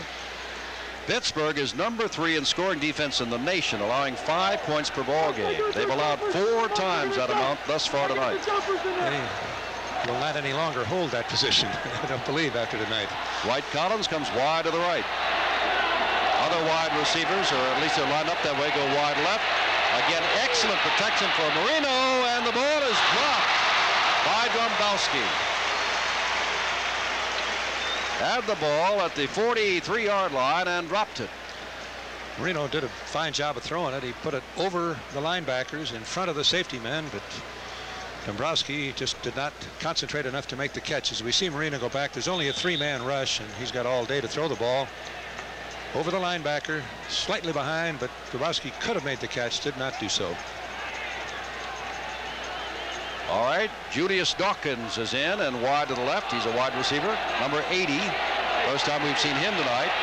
Marino is going for Dawkins down the sideline, maybe intercepted. By Keith Jones, who's back at the 40, the 50, the 40, and Jones goes down with three seconds left in the half inside the 35-yard line. Yet another turnover, and Florida State had two men back there on Julius Dawkins, and the ball was overthrown. And Jones, the academic All-American, picked it off, number 28, and he's going to keep that football.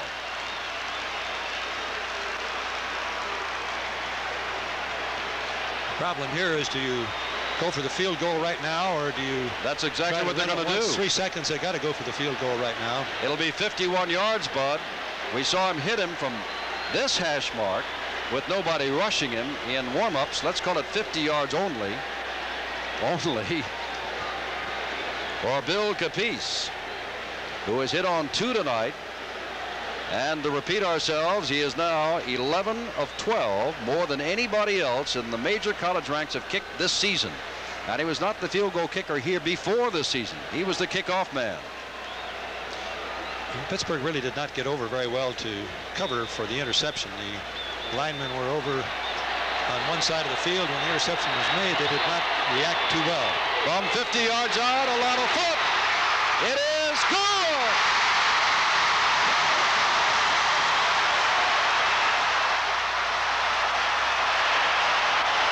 And that's the end of the half. The third field goal for Capece, who's kicked two extra points and now has 11 of the 23 as he runs to the dressing room. And number three or four ranked Pittsburgh, depending on which poll you're reading, and they're 4-0, really have their job cut out for them in the second half. At the half, Florida State 23 and Pittsburgh 7. The Florida State band is on the field. The Florida State fans are ecstatic. The Pittsburgh fans will be forgiven if they are a little shell-shocked. But Bud Wilkinson would like to say that, hey, they haven't hurt Pittsburgh that much, but I said the bottom line, Bud, is the score is 23 to 7. I know that is, but uh, I really don't feel that uh, Pittsburgh has played a bad first half defensively at all. Their offense has turned the ball over three times on fumbles, one interception. Florida State made one drive of 44 yards for a touchdown. Other than that, they've been set up where all you had to do is move it just a little bit to put points on the board. The thing that is so dramatic to me, we talked before the game about Stark's punting. He's punted five times for a 54-yard average per kick. Pittsburgh's averaging 31 yards per kick, and that's really field position, and the field position is why the Seminoles are ahead. All right, let us be hypothetical here, as they say. You've got the Pittsburgh team, and I don't mean that I want you to second guess Jackie Sherrill or Bobby Bowden, but you made all these mistakes, and you're in there and you're down by this score to a Florida State team playing at home. What do you tell them? Well, you tell them that uh, we've got to make the running attack go a little bit, but we've got to start catching the football. We've done a good job of protecting our passer, but we have dropped too many balls downfield. We don't need to try to make it all up in the first time we get possession. We can stay with our game plan, score three more times, we win the game, and just play solid defense and don't ever give them good field position. I don't know if that's simple or not, but we'll come back to Tallahassee, Florida in just a moment. We're Florida State now in the Florida State University Band. And right now they're playing a brand new day from the Broadway production of The Wiz.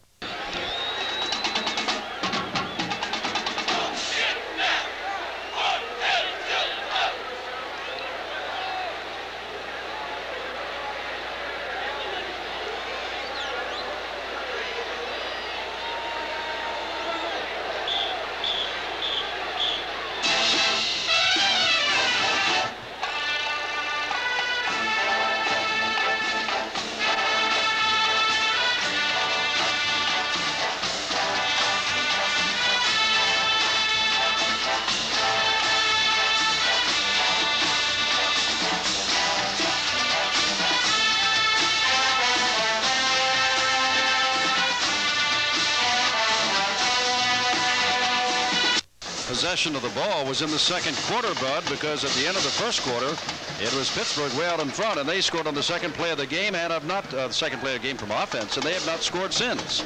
And again, you've got to point out the marvelous punting of Stark.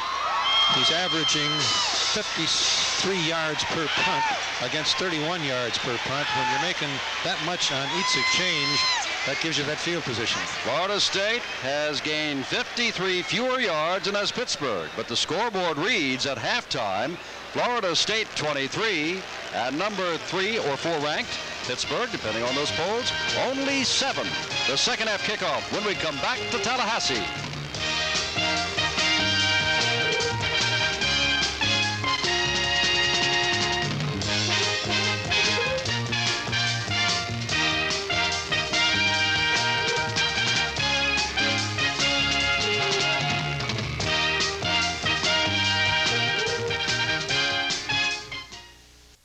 Tallahassee 27, W. Jim Simpson, Bud Wilkinson. We're back in Tallahassee, Florida, with the scores we are about to begin the second half is 23 to 7. There's Rick Stockstill of Florida State, who's had an outstanding first half. And of course, his scores have been set up by fumbles. Here is Dan Marino in that starting backfield. He's been getting excellent protection, and Pittsburgh will receive the ball. Uh, Rooster Collins, or rather, Rooster Jones played only a little bit but did have one good run. Mark May leads the offensive line as Bill Capece has kicked off into the end zone again, and that comes under the situation of so what's new? And that's uh, so really devastating to an offensive football team when you start on your own 20-yard line or behind it every time you get the ball first and 10. It's a long way to go against a well-drilled defense like Florida State, and I know that Bobby Bowden has told his men, don't ever give them anything cheap, and also we've got to score some more points. Don't take it for granted we got enough to win. White Collins goes wide to the right. Woody Collier comes to the left. Marino hands to McMillan as fullback, and McMillan is broken across the 30-yard line and has a first down. Bumped out of bounds by James Harris, number 33, along with Keith Jones, number 28, and now there's a flag down out of bounds. And maybe Florida State was a little bit too eager to put the hit on McMillan. McMillan was out of bounds. Uh, they kept trying to tackle him, and I think we're going to get an unnecessary roughness penalty or a personal foul. Now that's just the kind of thing that give the Panthers excellent field position, as Bobby Bowden knows. That's what you don't want to have happen. And you can read his lips there saying he gave them an elbow. But that'll move the ball out near midfield and be a first down near midfield. So that is a pickup of 29 yards on that one play. They started with the draw play. Their passing has been the only thing that's looked consistently good. Florida State was thinking pass. They overrushed, opened it up for the draw. Dan Marino, the sophomore out of Pittsburgh, has Collins right and Collier left again.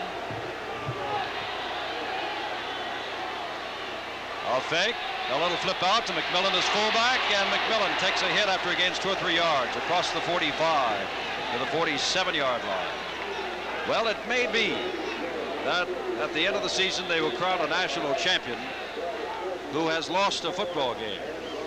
But the odds are against it. Ohio State has already lost. Oklahoma's now lost twice. Nebraska's lost to Florida State. Florida State's lost.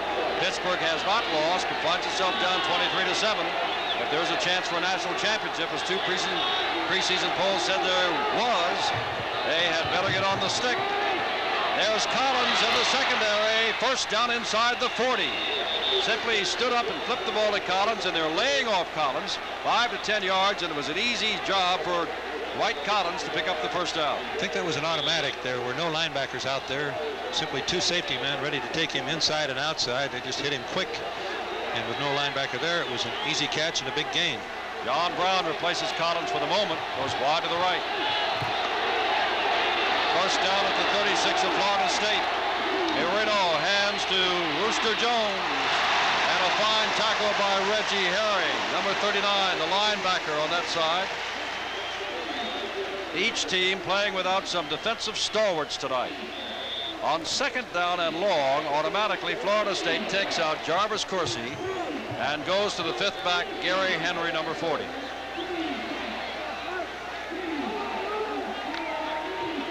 Number 82, Dombrowski goes wide right. Collier's the man that's flanked wide left. Second and long, Marino back to throw. Marino puts it up. It is for Collins. Six yards. I don't know how he beat him that bad. Everybody knew they were going to throw it. He has got that speed, as you said in the first half, with Jackie Sherrill is true. And you asked him, Jim, how fast can he run? And he said as fast as he has to. Let's take a look at it again. Marino dropping back. I thought he was going to get a little pressure here because Florida State rushed five men. The line, however, is equal to the task. Pass is thrown, and Collins just absolutely outran everybody. Gave him a little shoulder juke inside. Waited slightly for the football, but it's an easy touchdown and an 80-yard drive by Pittsburgh. That is exactly how the game began, with Pittsburgh getting on the scoreboard early. They're going to go for two, a 39-yard pass for a touchdown to Collins, this time a 36 here in the second half.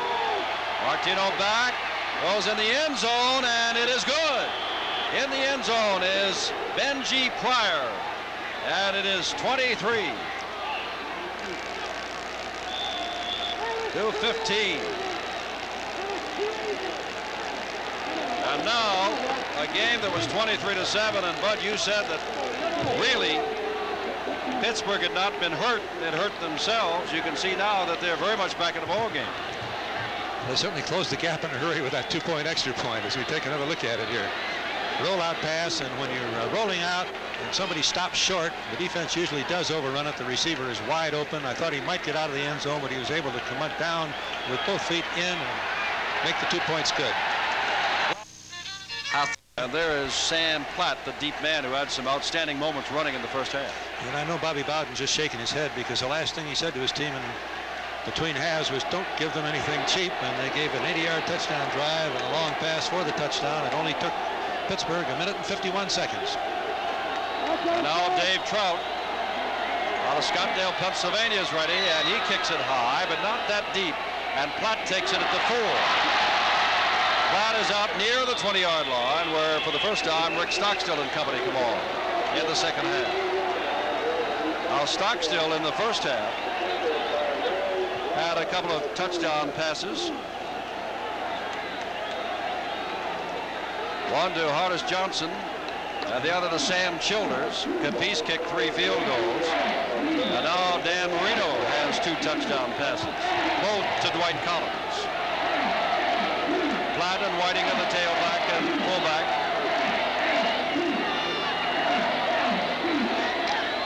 And that is Platt trying to get outside and does for maybe a yard, and that's about all before the secondary came up led by Pappy Thomas, number nine, and down at the bottom you can get up and see 29, Dan Short, a sophomore out of Aliquippa, Pennsylvania. And they continue to run away from Hugh Green. That's no bad strategy, is it? No, it's not. Green usually goes to the split end side where he's got the opportunity to stack as a linebacker, drop off to be in pass defense or to be an extra man rushing. Phil Williams wide to the left. Thompson to the right. Stockstill still with the football, rolling out, going to run with the football, and gets across the 20-yard line. It'll be third down and long from the 23, and there may be a flag, or is that an airplane sailing overhead? There it goes.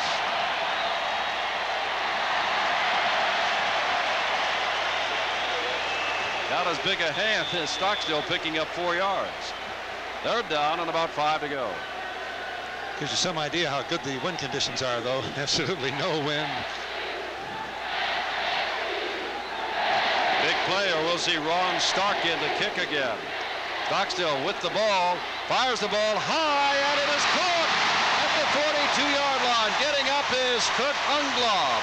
Another one of those slow but sure-handed wide receivers of Florida State. Rick Trocano made the stop. First down. This is excellent execution.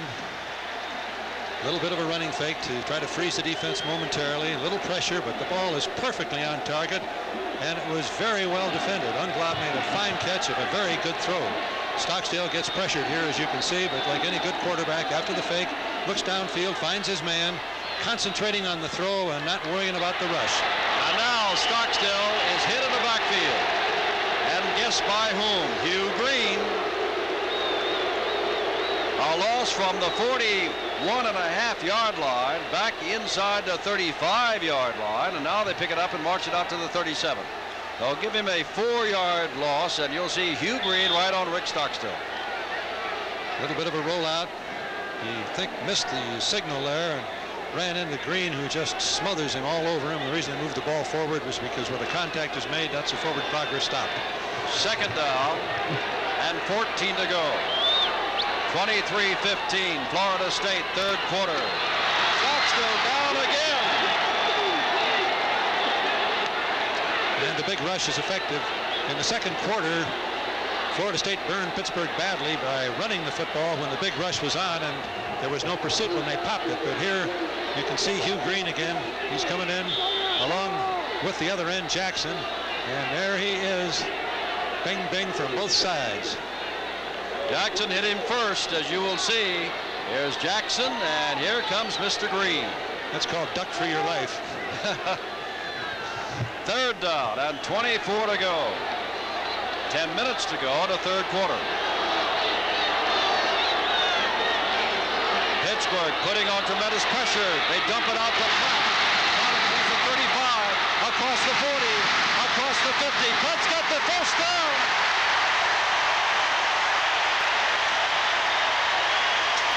Beautiful execution of the screen pass. Rickey Jackson made the stop. Now that is a play that Jackie Sherrill anticipated today, the screen, because they do run the sprint, the sprint out, and the draw so often. And that time they got Hugh Green and company charging, flipped the ball out, and Platt made another outstanding run. He got a start, but uh, he really did most of it on his own. When you come off uh, long yardage like that, boy, it gives the offense a boost. First down at the 46 of Pittsburgh. And Stockstill falls down. Potts lost the football and falls on the back at the 46-yard line. Stockstill tripped and fell. Boy, I don't know how you can whistle that dead when the ball is still bouncing around, but they did. Look at Dan Short there standing over Platt. Now let's watch Hugh Green. Stockstill was hit as he tried to toss the ball. You see Green just looking for it now, just shedding his man, going for the ball. The ball is bounced around, and they said that Florida State had possession of the ball prior to the second fumble. You know that Ken Lanier weighs 270 pounds, and Hugh Green handled him like he weighed 170 pounds. And we got an unsportsmanlike conduct personal foul against Pittsburgh, which again erases a second down and long situation. That is Greg Futch checking. Personal foul you saw. And sort of second down and short, second down and four. The break goes to Florida State. A lot different in second and 20.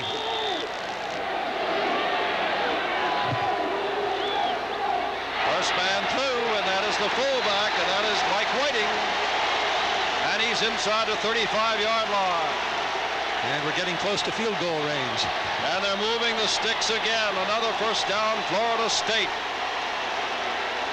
Hardis Johnson comes in. Florida State has a feeling that nobody figures they are for real. They also have a feeling, even after 11 and 0 last year, that no one thought they were for real. But if they can take Nebraska one week and Pittsburgh the second, maybe they'll get some notoriety. Here is Platt. Cut back, gets down to the 30-yard line. Seven. Third down and four to go. Florida State has moved with the help of an unnecessary roughness penalty. Second and 20 as it was. They wound up with second down and five. McKinnon, they haven't thrown to him tonight, goes wide to the left.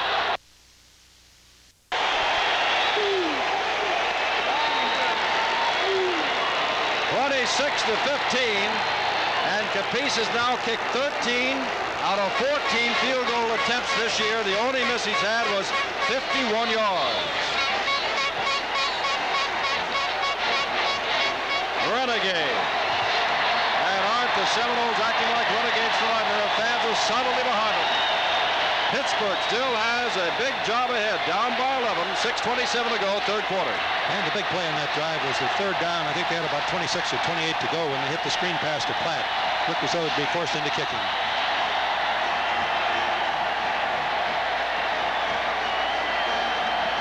Bill Capece.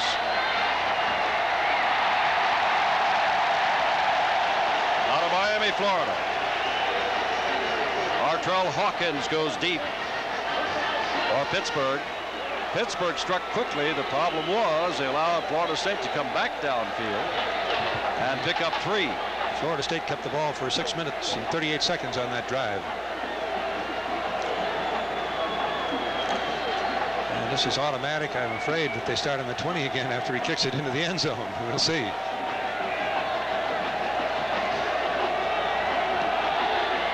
Well, not too three yards deep in the end zone, and Hawkins will bring it out.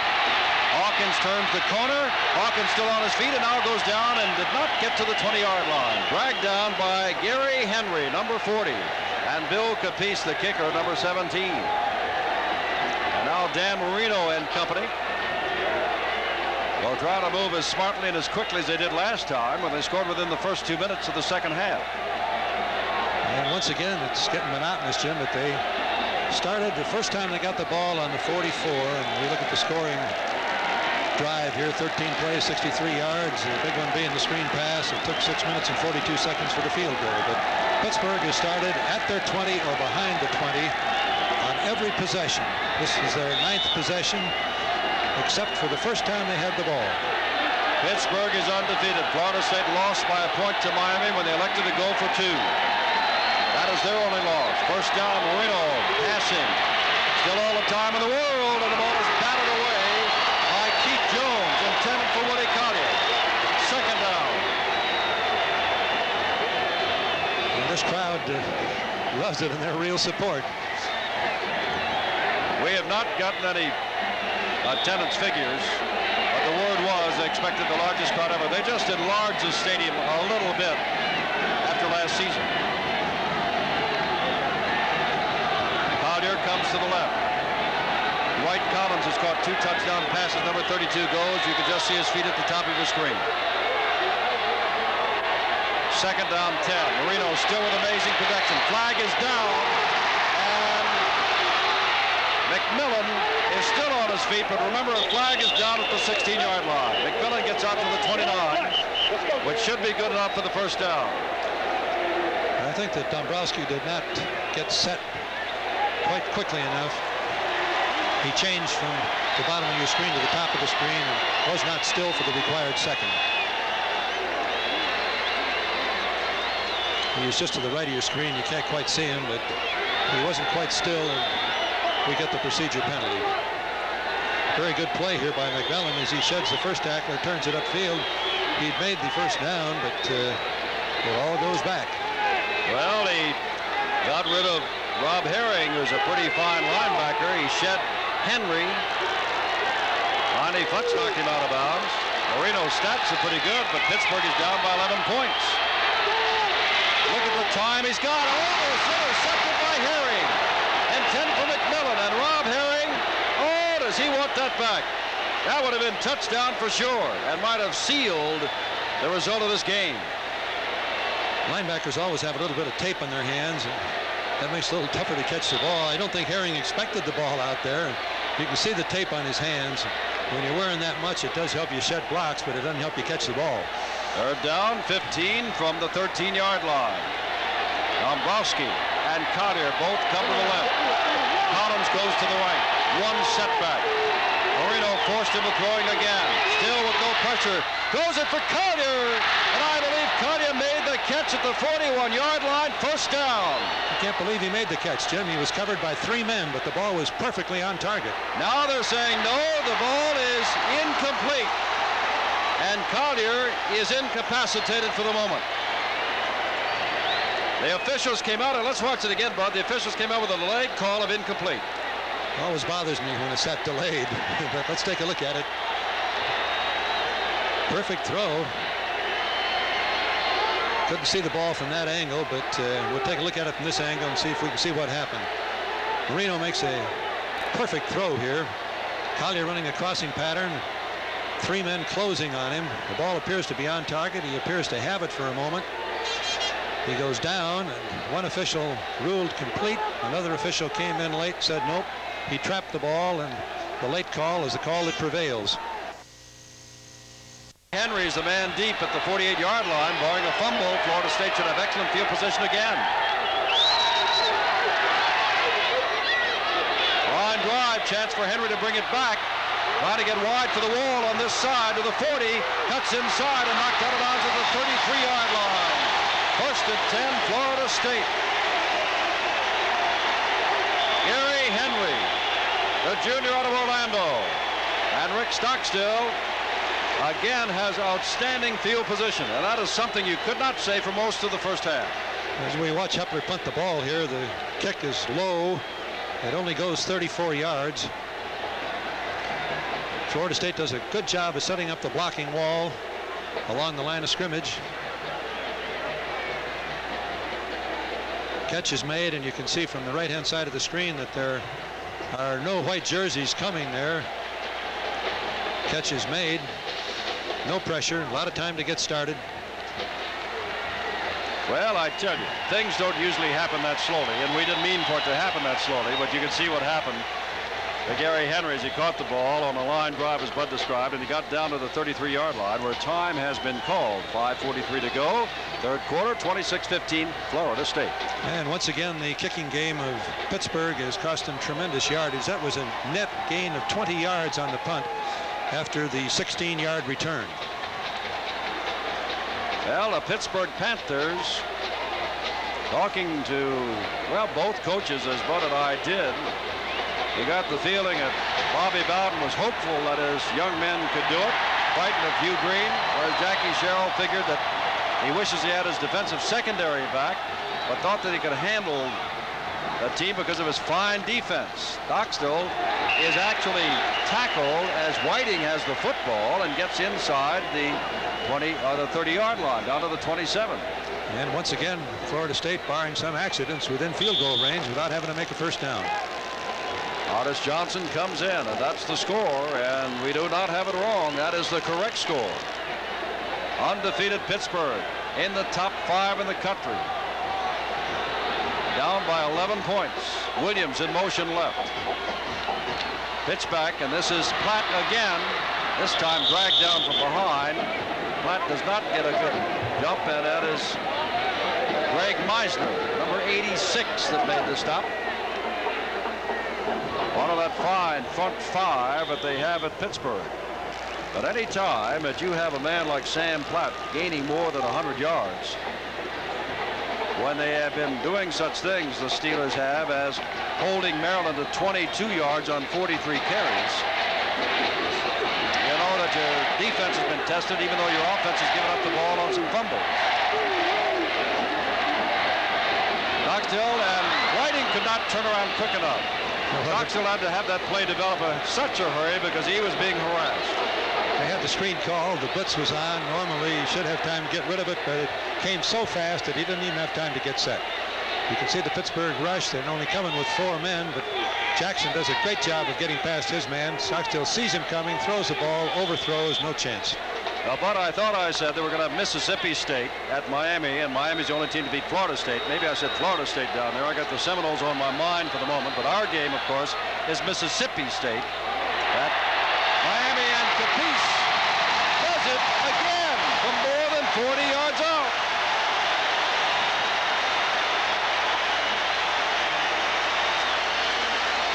Bill Capece has now kicked five field goals. He had four against Nebraska. And it is 29 to 15, and again, a two-touchdown margin.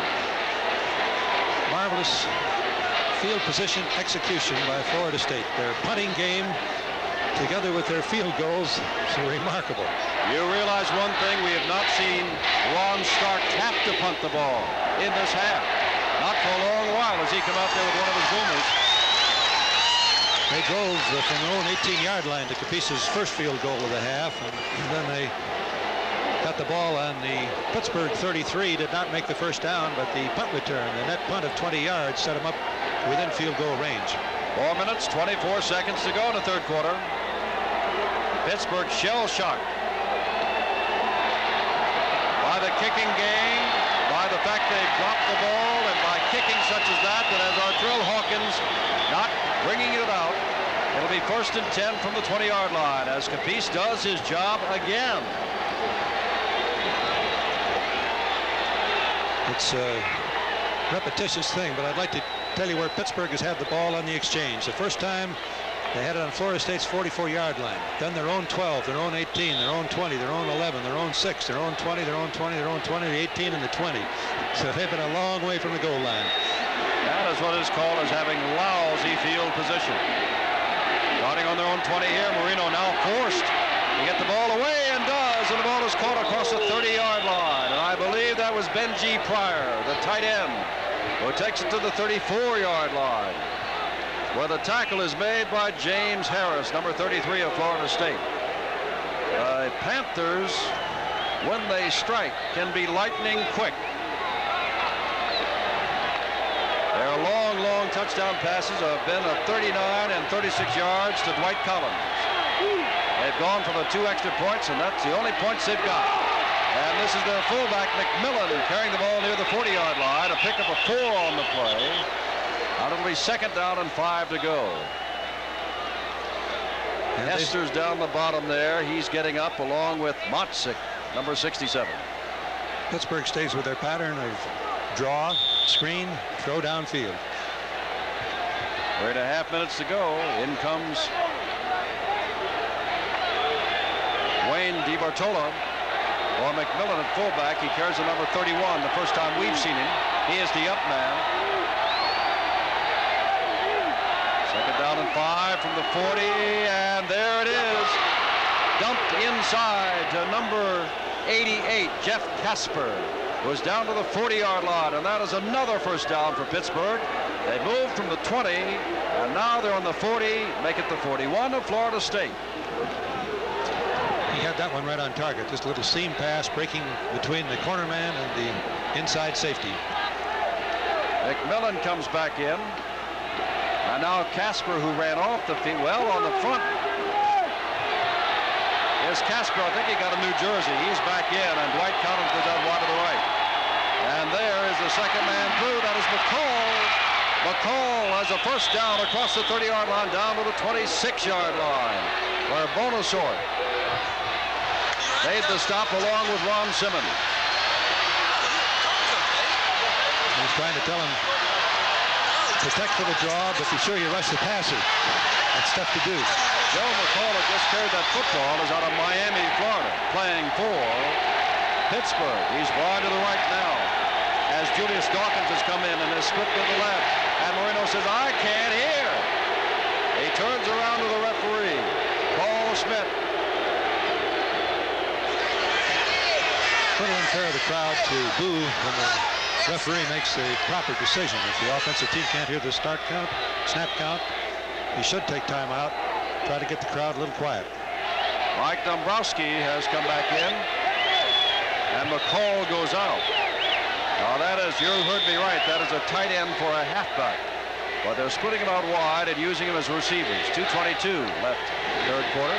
29-15 Florida State. Is to the left and Dombrowski's to the right and Marino's back to throw. Has a lot of time and underthrows his man. And that is Julius Dawkins at the 10-yard line. Dawkins was going to be open if he'd gotten the ball to him. Second down and 10. Try goes up for defense. This is the only night ball game played by Pittsburgh this year, and it's only the second time they've been away this year, and it's the first time they're on artificial turf this year. I should say on real turf instead of artificial turf. Marino rolling out, has his man under the coverage at the 19-yard line, and that is number 84, Benji Pryor, who has made another catch on this drive to bring them down to a first down inside the 15. They'll mark it at the 14. First down, Pittsburgh. They're down by 14 points. Score here, they're just a touchdown apart with more than a quarter to go. The offensive line continues to do just a marvelous job of protecting Marino. Collins to the right, Dawkins to the left, and Pittsburgh driving. Drive started on their own 20-yard line. Dawkins hands to McMillan, who picks up two yards only. That's about all. You can see Herring in there. Hester in there. Down to the second down. They'll mark it at the 12-yard line. Jackie Sherrill and his Pittsburgh Panthers. They're close to getting back into the ball game should they score here. They need to put it in the end zone. Three points is not enough. Not when you got a Capece that can get the three points back almost at will. Dawkins left and Collins right.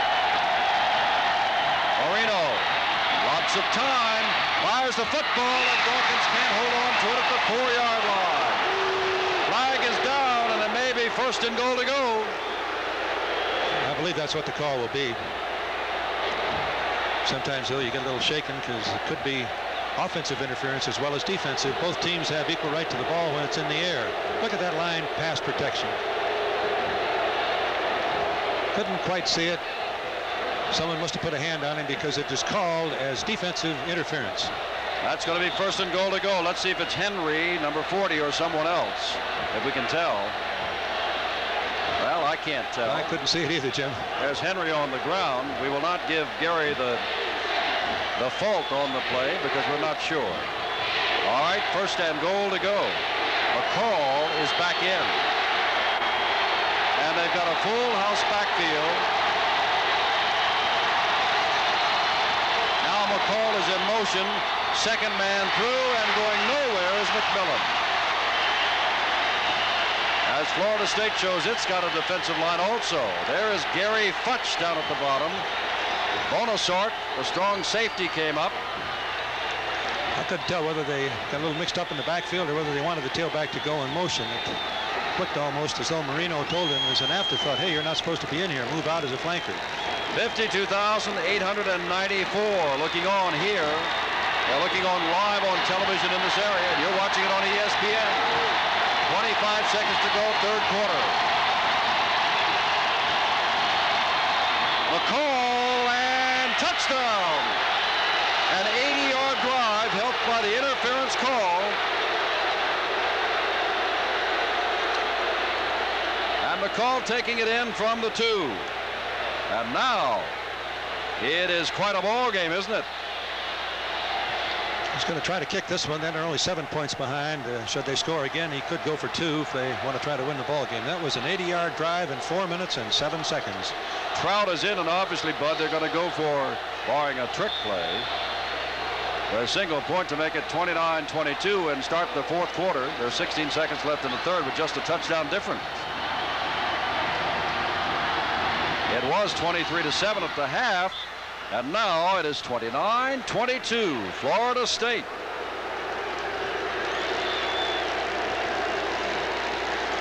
And that, as you can tell, is a bad graphic. It is not 29 to 18, but 29 to 22. And now Florida State and Stockstill not only have to hang on to the football, they've got to get some points. There's the score because there's more than 15 minutes to go. And Pittsburgh has shown that they're not panicky, that they can move the football and quickly. They've got to do is not let Florida State cross midfield. The minute they do, Capece is right there, and you're looking at three points. Dennis McKinnon is a deep man as you take a look at the score, and 16 seconds left right in the center of your picture there in the third quarter as Trout will kick off. That is McKinnon in the end zone. Harris nearest to you. This youngster also from Miami can fly.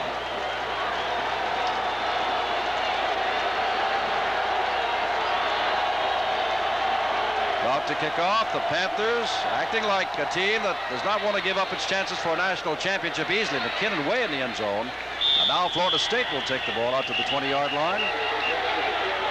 First and 10 from there. Now, Bud, at one time, as we said, it was 23 to 7.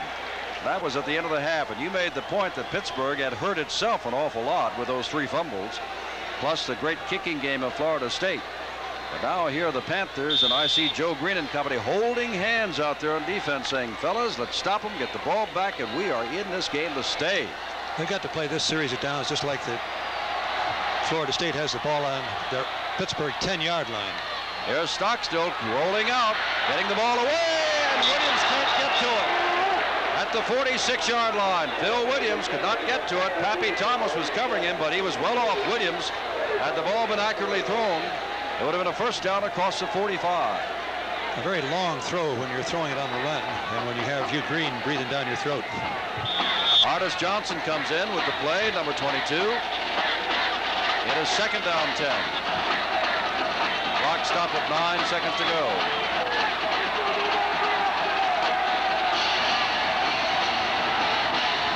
He's got time. He fires the football. He's got his man across the 30. First down.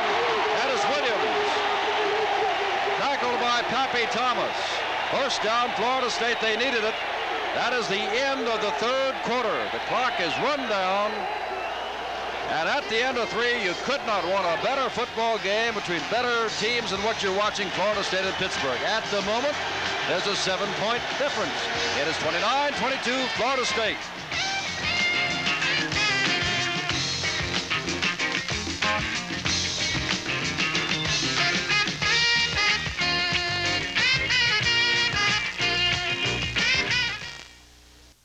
This is 32-yard line.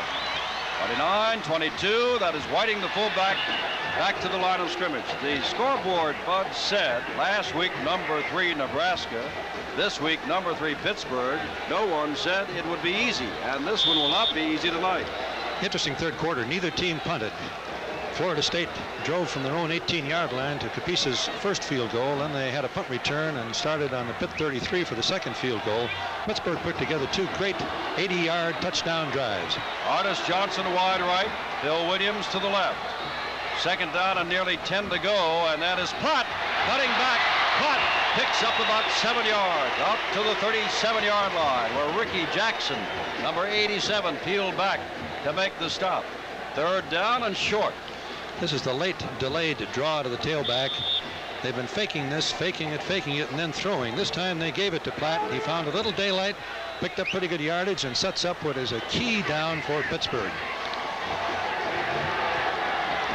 All right, Unglaub is wide to the right. About three and a half yards to go. McKinnon in motion. Here they go over the middle.